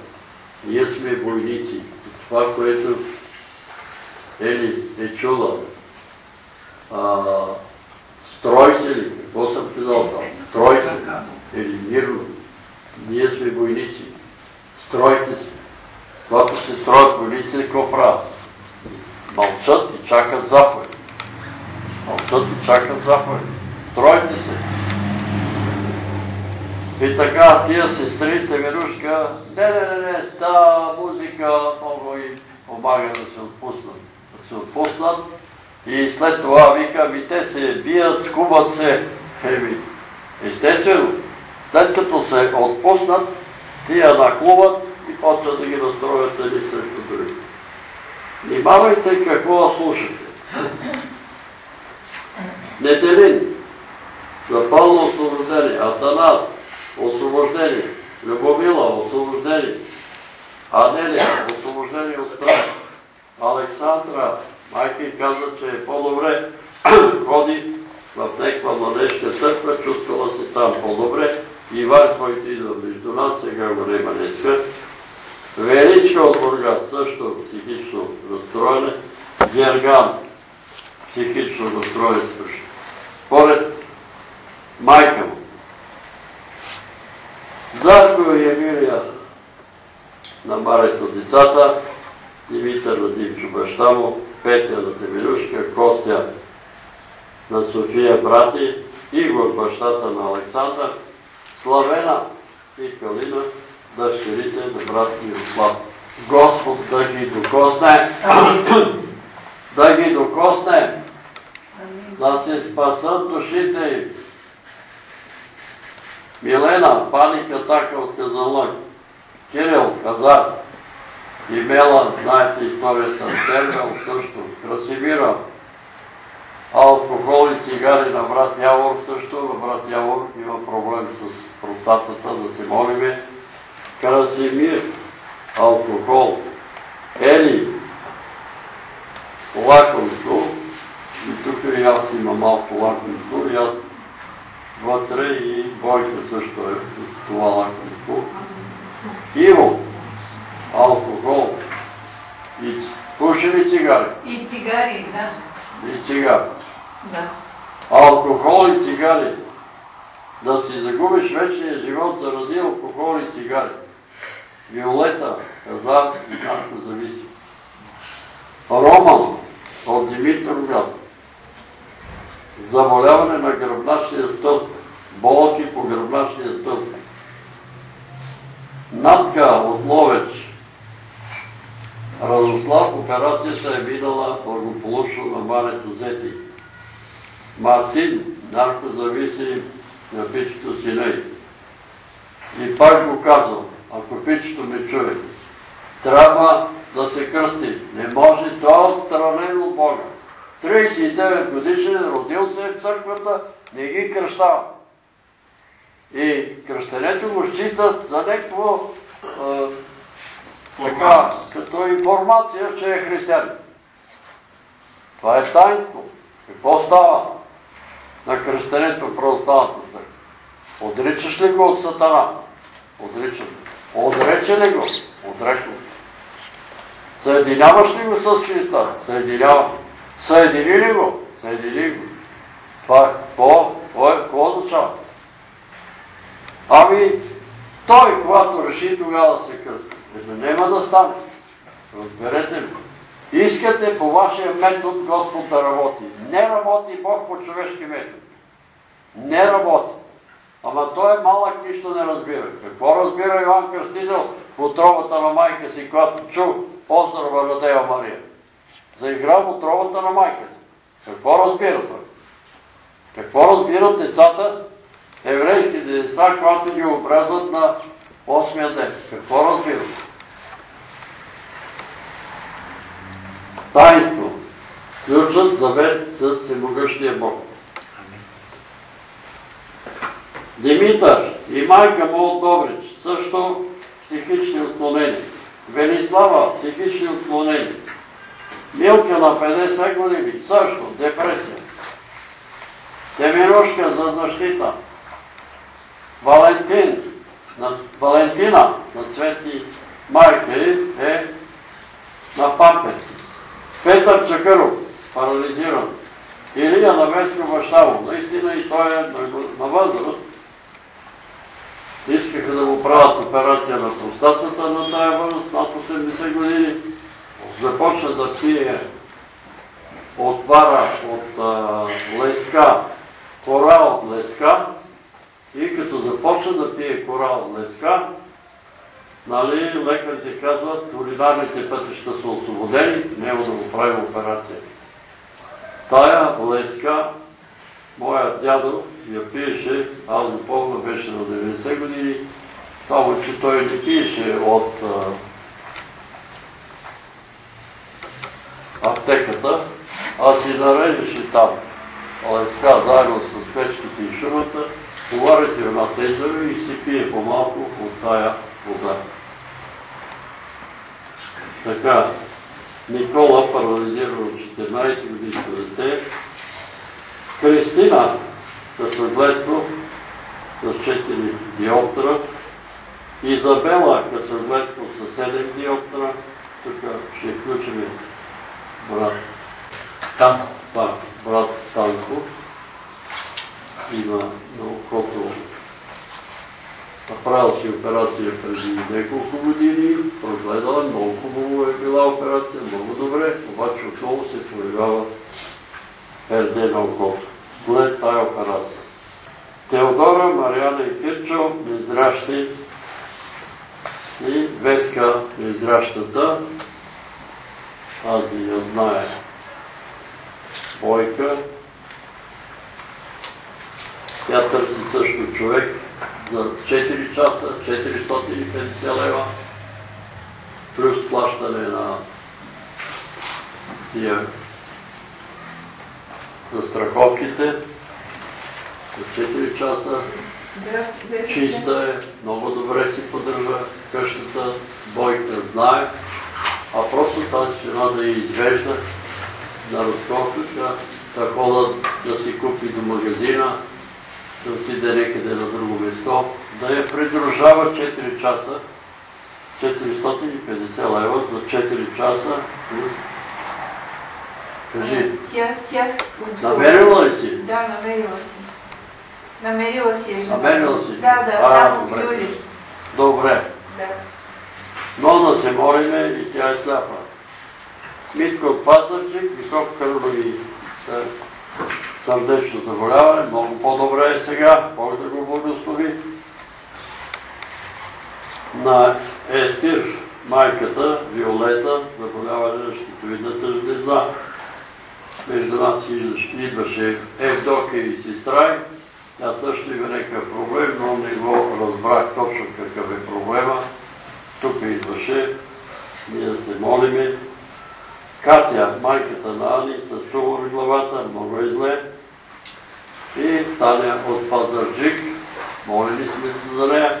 Тя твърди, че е много по-добре сега, може да спи, не е могла да спи, защото имала много силни болки в лявата ръка. Болките си изчезнат. За тия хора ги спомена. И така продължаваме да се молиме. Има още. Юлиан за защита. Иван Теодора за покаяние близки на брат Юли. Кристина Розалия разкривали причината за нападенията и за защита. Тодор, защита от нападения в сърцето. Да се молиме за тия хора, Господ да се смили, да ни благослови и помилва, да се молиме и за тия неща, които се предлагат на 27 България да бъде защитена от война, от природни бедствия, от земетръс, от наводнения, от вътрешни междуособици.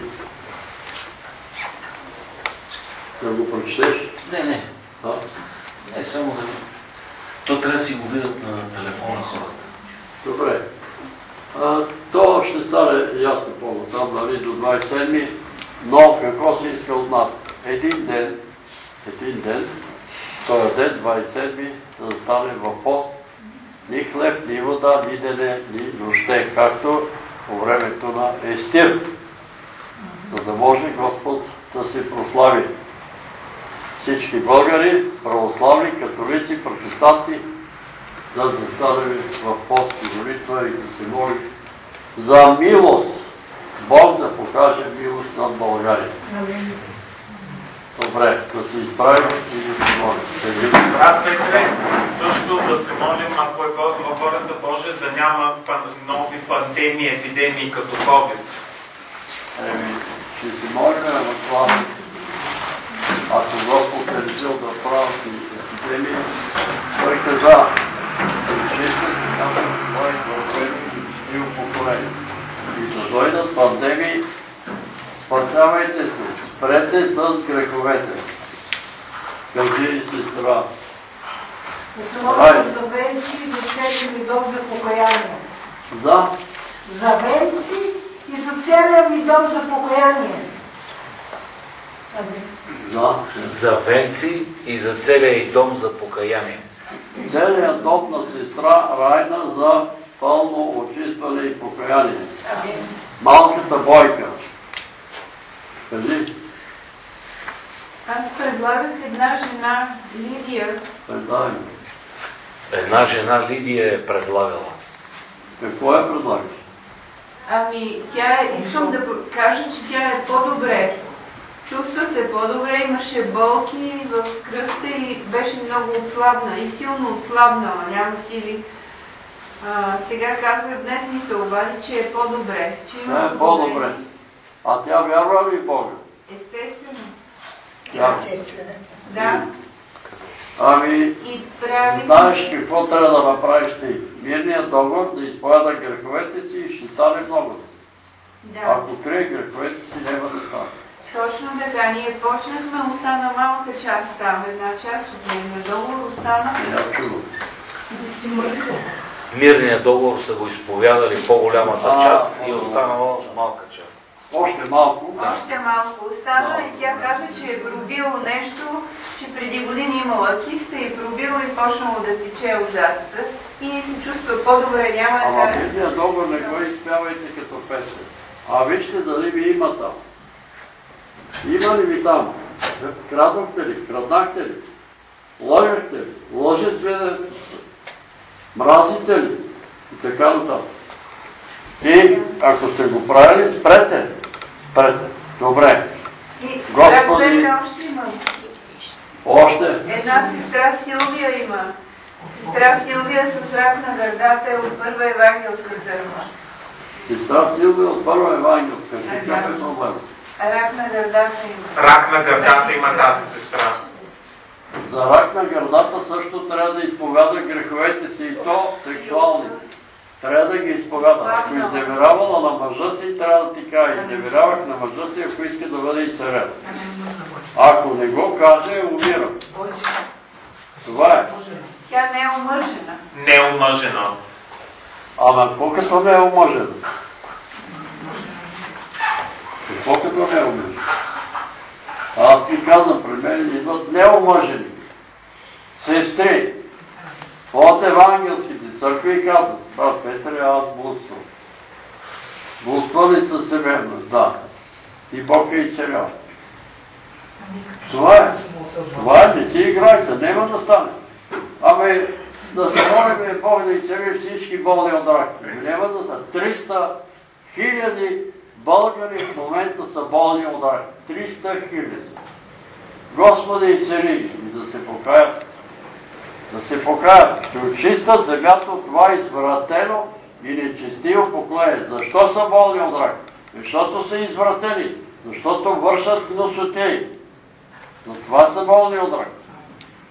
Бог няма да допусне рак на някой свят човек да е болен от рак. Па и да допусне рак, рака няма да го убие. Нищо няма да стане. Защото доколко знам в Атон има там момаси, които с 3-4 вида рак живеят по 30 години. И Господ ги държи. Не отиват да се оперират. Защото Бог е това, който ги пази. Има и нещо друго. Много хора са болни, защото са облъчени от радиация. И аз си съмнявам, много си съмнявам и искам да вярвам, че Иванка от Бухово, но от Бухово знаете какво беше по време на комунизма. Какво беше това? Мини. Мина на уран. Радиоактивна мина. Фабрика също. И в Бухово, и в Яна бяха намерили от тия, които прекарват родата с много голямо съдържание на уран на площада в Бухово и на площада в Яна. И на времето се гигна голем шум за това, за, това, за тая, а не е изключено да е пръснат и умишлен. И така, но аз вярвам, че Господ изцелява и от радиация. Да се молим. Има 500 хиляди души болни от диабет. Кой? 500 хиляди души болни от диабет. 300 хиляди от рака, 500 хиляди от диабет. До тук има нещо, което за диабета в Америка, така прочетах една статия, че болен от диабет е, когато кръвната захар е над 8, а България е над 6. Има разлика, нали? А тия от 6 до 8 са включени в болните от диабет, за да може фармацевтичната индустрия да продава нали, лекарства. Не знам защо е така, но в Америка, който има 7-8 захар кръвта, не го чита, че е болен от диабет. Тук обаче при 6 е много чисто. Но ще се молиме за всички тия наши сънародници, защото разберете, много е страшно. 300 хиляди болни от рак, 500 хиляди от диабет. Да не говорим и за другите болни. Господи, стоиме в Твоето присъствие. Вярваме, че Ти си тук със Твоето, защото Ти си на всяко място, където двама или трима са събрани в Твоето име. И за това вярвам, че чуваш молитва. Вярвам, че чуваш това, което прочетохме. Вярваш, вярваме, че чуваш това, което говориме. Но вярваме и изповядваме, че ти знаеш какво мислим. И затова те моля, Господи, за тия хора, които сега ги прочетах един по един. Моля ти се да ги докоснеш. Моля ти да ги посетиш там, където са. Защото ние вярваме, че ти си навсякъде. Твоят дух изпълва цялата Вселена. И ние се молим за тези наши брати и сестри по домовете. Посети ги. Изпълни ги с сила. Моля те, Господи, помогни им. И те да застанат в пост и молитва. Родителите, близките на болните. За да бъдат изпълнени с сила. Молим те за Кирил, който е болен от рак на панкреаса. Господи, до косници, до панкраса на този човек и от уши запушените каналчета да тръгнат тия течности до жлъчката, до черния дроб, до стомаха и той да започне да се храни, защото е намалял килограмите с 20 килограма е отпаднал. Молим те за Юлиан. Господи, защити го и опази го. Да не се отклонява нито наляво, нито надясно. Благослови дядо му и цари очите му.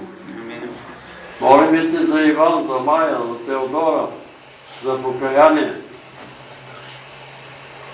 на близките и на брат Юли. Те са на, на брат Юли близки. Молим и те за Христина, Розалия, за разкриването причината. Молим и те дай отговор. Коя е причината Христина да е върза? Ние се молим и викаме, но ако тази причина не бъде премахната, Господи, ти няма да подействаш. Молим ти за брат Тодор защита от нападение в сърцето му. Господи, ти знаеш и при мен идват такива нападения. И аз се моля и препоръчвам на брат Тодор да използва същата молитва. Особено вечер, нощно време, около 12 часа, усещам нападение в сърцето и като застана и кажа всички магиоснически демони и бесове, върнете на жежените стрели и игли върху телата на тия, които са ви изпратили. И усещам помазание върху мене и тия бесове изчезват. Явно и че срещу брат Тодор, нечестивци, магиосници, антихристи също действат върху всеки един от нас. И ние те молим да ни пазиш от магиотници, от заклинатели, от атеисти, от антихристи, от комунисти. Господи, пази ни! Алилуя. Молим те за сестра Джинка за пълно развързване, освобождение и царение. Молим те за болните от шизофрения. Всички болни от шизофрения. Развърши ги, освободи ги от атаките на лукавите сили. Дух на шизофрения, на лудост, на натрапчиви мисли и образи, събития. Дух на внушения, дух на самовнушения. Напуснете телата им. Отивайте там, където Бог е определил място за вас. Не се връщайте. Не се докосвайте до тия души, за които Исус е платил цената. Защото техните души, духове и тела са собственост на Господ Исус Христос. Напускайте телата им, напускайте душите, напускайте духовете им, напускайте домовете им. Отивайте там, където Бог е определил място за вас. Молим те, Господи, за всички уния, които са вързани от дух на алкохол, от дух на цигари, от дух на наркомания. Молим те, Господи, да им дадеш сила, да се облечат със сила отгоре, да се противопоставят, да отречат демона на алкохола, демона на никотина, на наркотиците, да ги напусне, да освободи сърцата им, да освободи волята им, и те да бъдат пуснати на свобода. Милост, Господи, за Мариан, пълно изцерение. Милост, Господи, за тази жена, за която е в Бутонет, за тази, която е в Бухово. Помилвай ги, благослови ги за този Григор, който е в Бутонет също. Развърши го, Господи, той е в много тежко състояние. И особено те молим и за майката на Ани Катя, която отговаря сега вече само с да и не. Ще опитва образование в главата и Господи, аз съм свидетел. Аз съм видял с очите си как си страпенка от Ямбол, която имаше тумор в главата, на другия ден тумора го нямаше. Видях сестра. Светла, майката на Виктор Вирчев, която имаше тумор в главата и на другия ден тумора го нямаше.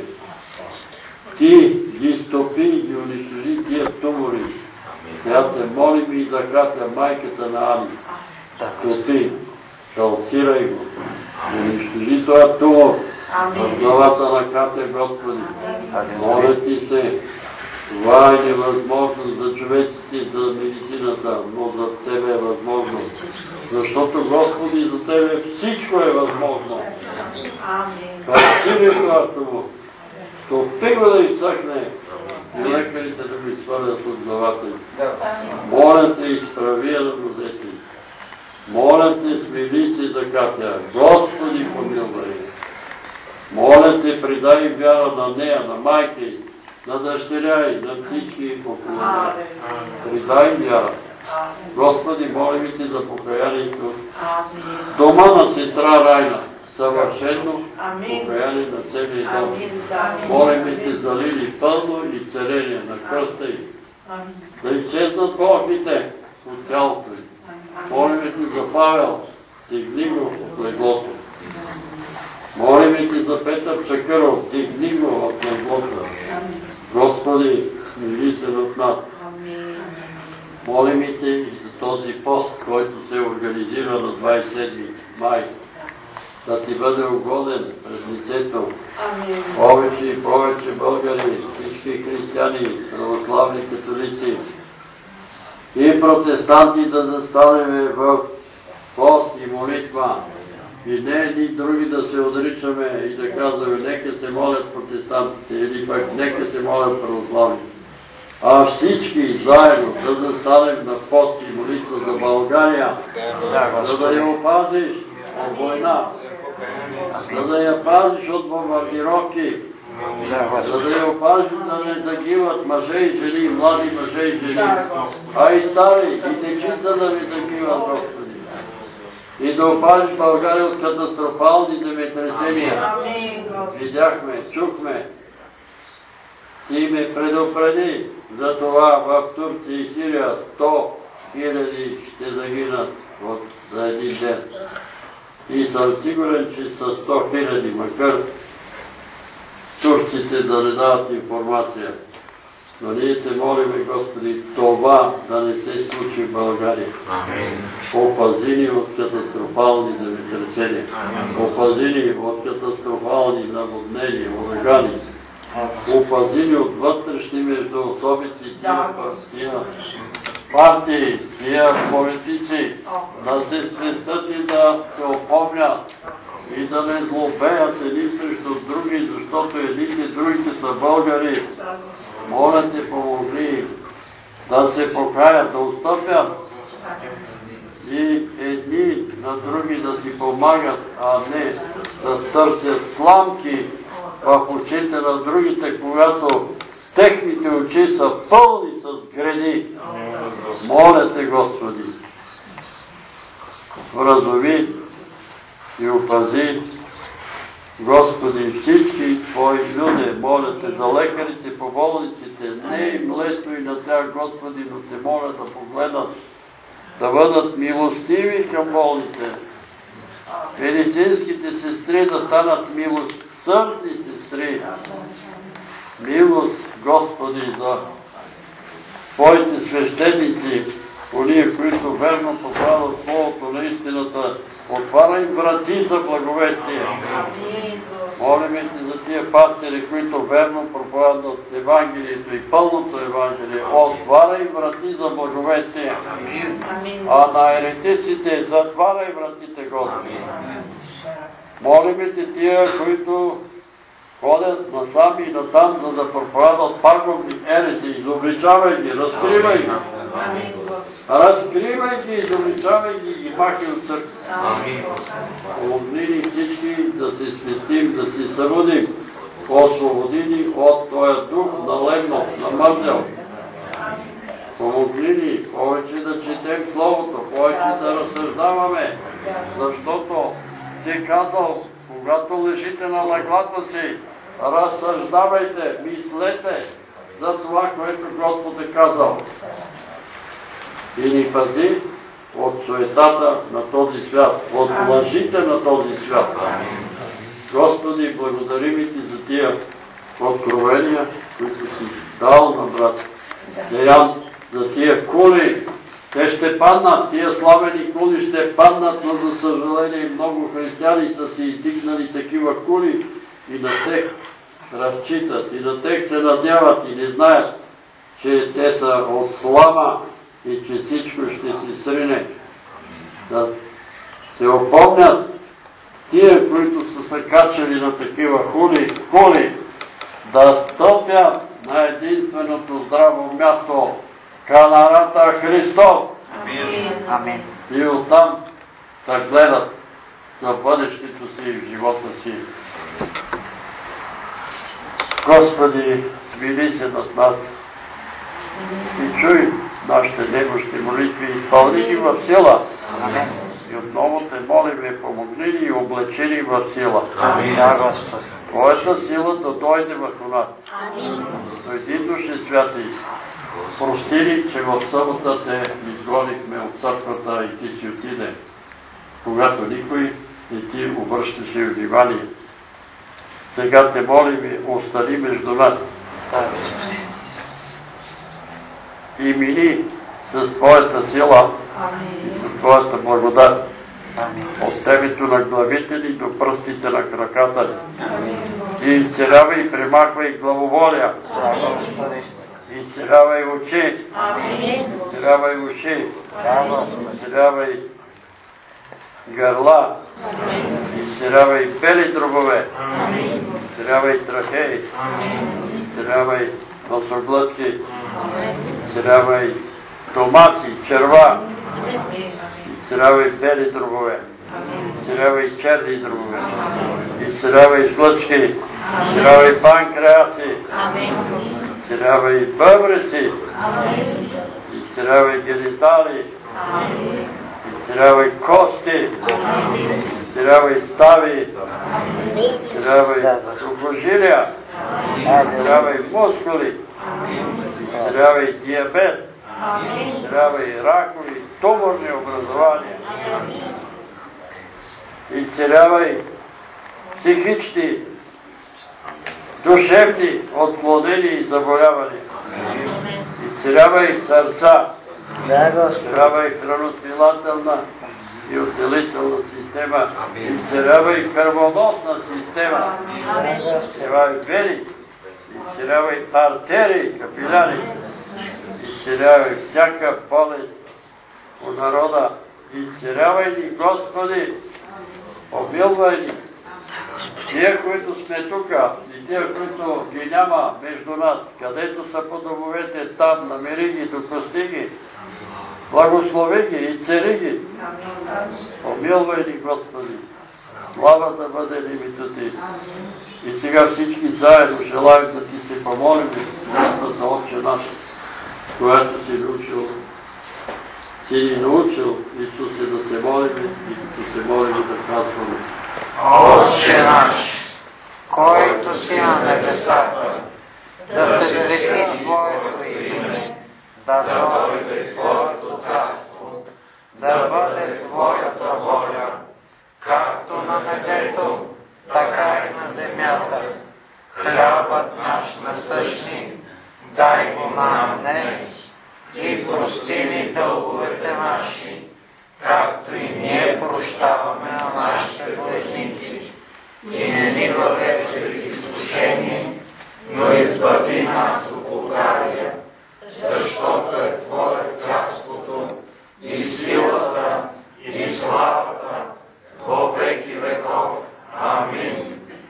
Вярвам в един Бог Отец, Вседържител, Творец на небето и земята, на всичко видимо и невидимо. И в един Господ Исус Христос, Синът Божий, единородният, който е роден от Отца, преди всички векове, светлина от светлина, Бог истинен от Бог истинен, роден, несътворен, едносъщен с Отца, всичко е станало, който заради нас човеците.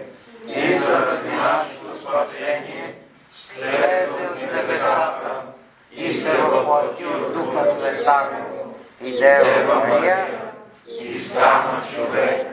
И бе раснат за нас при Понтия Пилата. И страда и бе погребан и възкръсна в третия ден според питанията и се възнесе на небесата и седи отдясно на Отца и пак ще дойде със слава да съди живи и мъртви. и царството му не ще има край. И Духа Святаго, Господа, животворящия, който от Отца изхожда, комуто се покланяме и го славяме наравно с Отца и Сина, и който е говорил чрез пророците в една свята, вселенска и апостолска църква, изповядваме едно кръщение за опрощаване на греховете, чакам възкресението на мъртвите и живот в бъдещия век. Амин. Тодор се молихме и виждам брониран войник. Да има такава вяра, която да бронира. Вземете Божието всеоръжие. За пороците. Ами, просто ако не вярваме в Бога, няма как тези пороци да напуснат. Трябва да вярваме, с, да се молиме с вяра, за да може тези пороци да бъдат пресечени. Самия аз имах пороци, които не можех да се отърва и го казвам, съм го няколко пъти. Молих се и казвам, Господи, не мога да се отървам. Слаб съм, не мога. И Господ ме освободи без да разбера.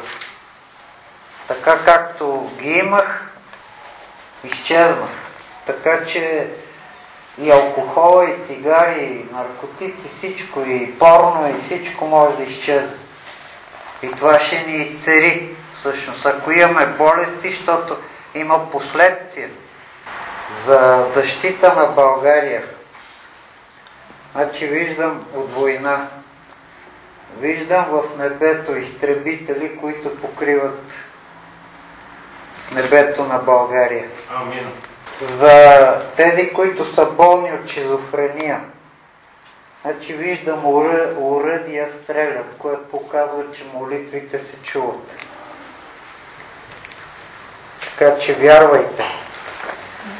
За онези пастири, кавички, които проповядват а, пагубни ереси, няма да устоят в съда. Изцерение на различни болести, специално да Катя, която вече е в тежко състояние, ако може роднините някак... Знам, че когато хората не могат да говорят, обаче им четат, сигурно те разбират. Предполагам, че не е в чак в такова състояние, в което нищо да не разбира. Ако може да четат мирния договор и тя да кима, не знам как Бог знае. Бог да помага. И това е общо взето. За всички болести, тия тежки болести, шизофрении, пороци и всякакви други нападения, трябва с вяра. Бог да ви благослови. Има ли някакви друг? Ако има някакво откровение?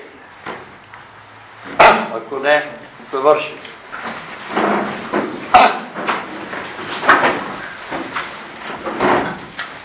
И сега благодата на нашия Господ Исус Христос, любовта на Бога общението и ръководството на Святия Божий Дух да бъде с всички нас, Амин. с домовете ни, Алелуя. С чедата ви, Бога. с родовете ни, на Бога. с църквата на Господ Исус Христос на това място, Амин. в град София, Амин. в цяла България Амин. и по целия свят. Амин. От сега и до века. Амин. Амин. Господ да бъде с всички нас. Амин.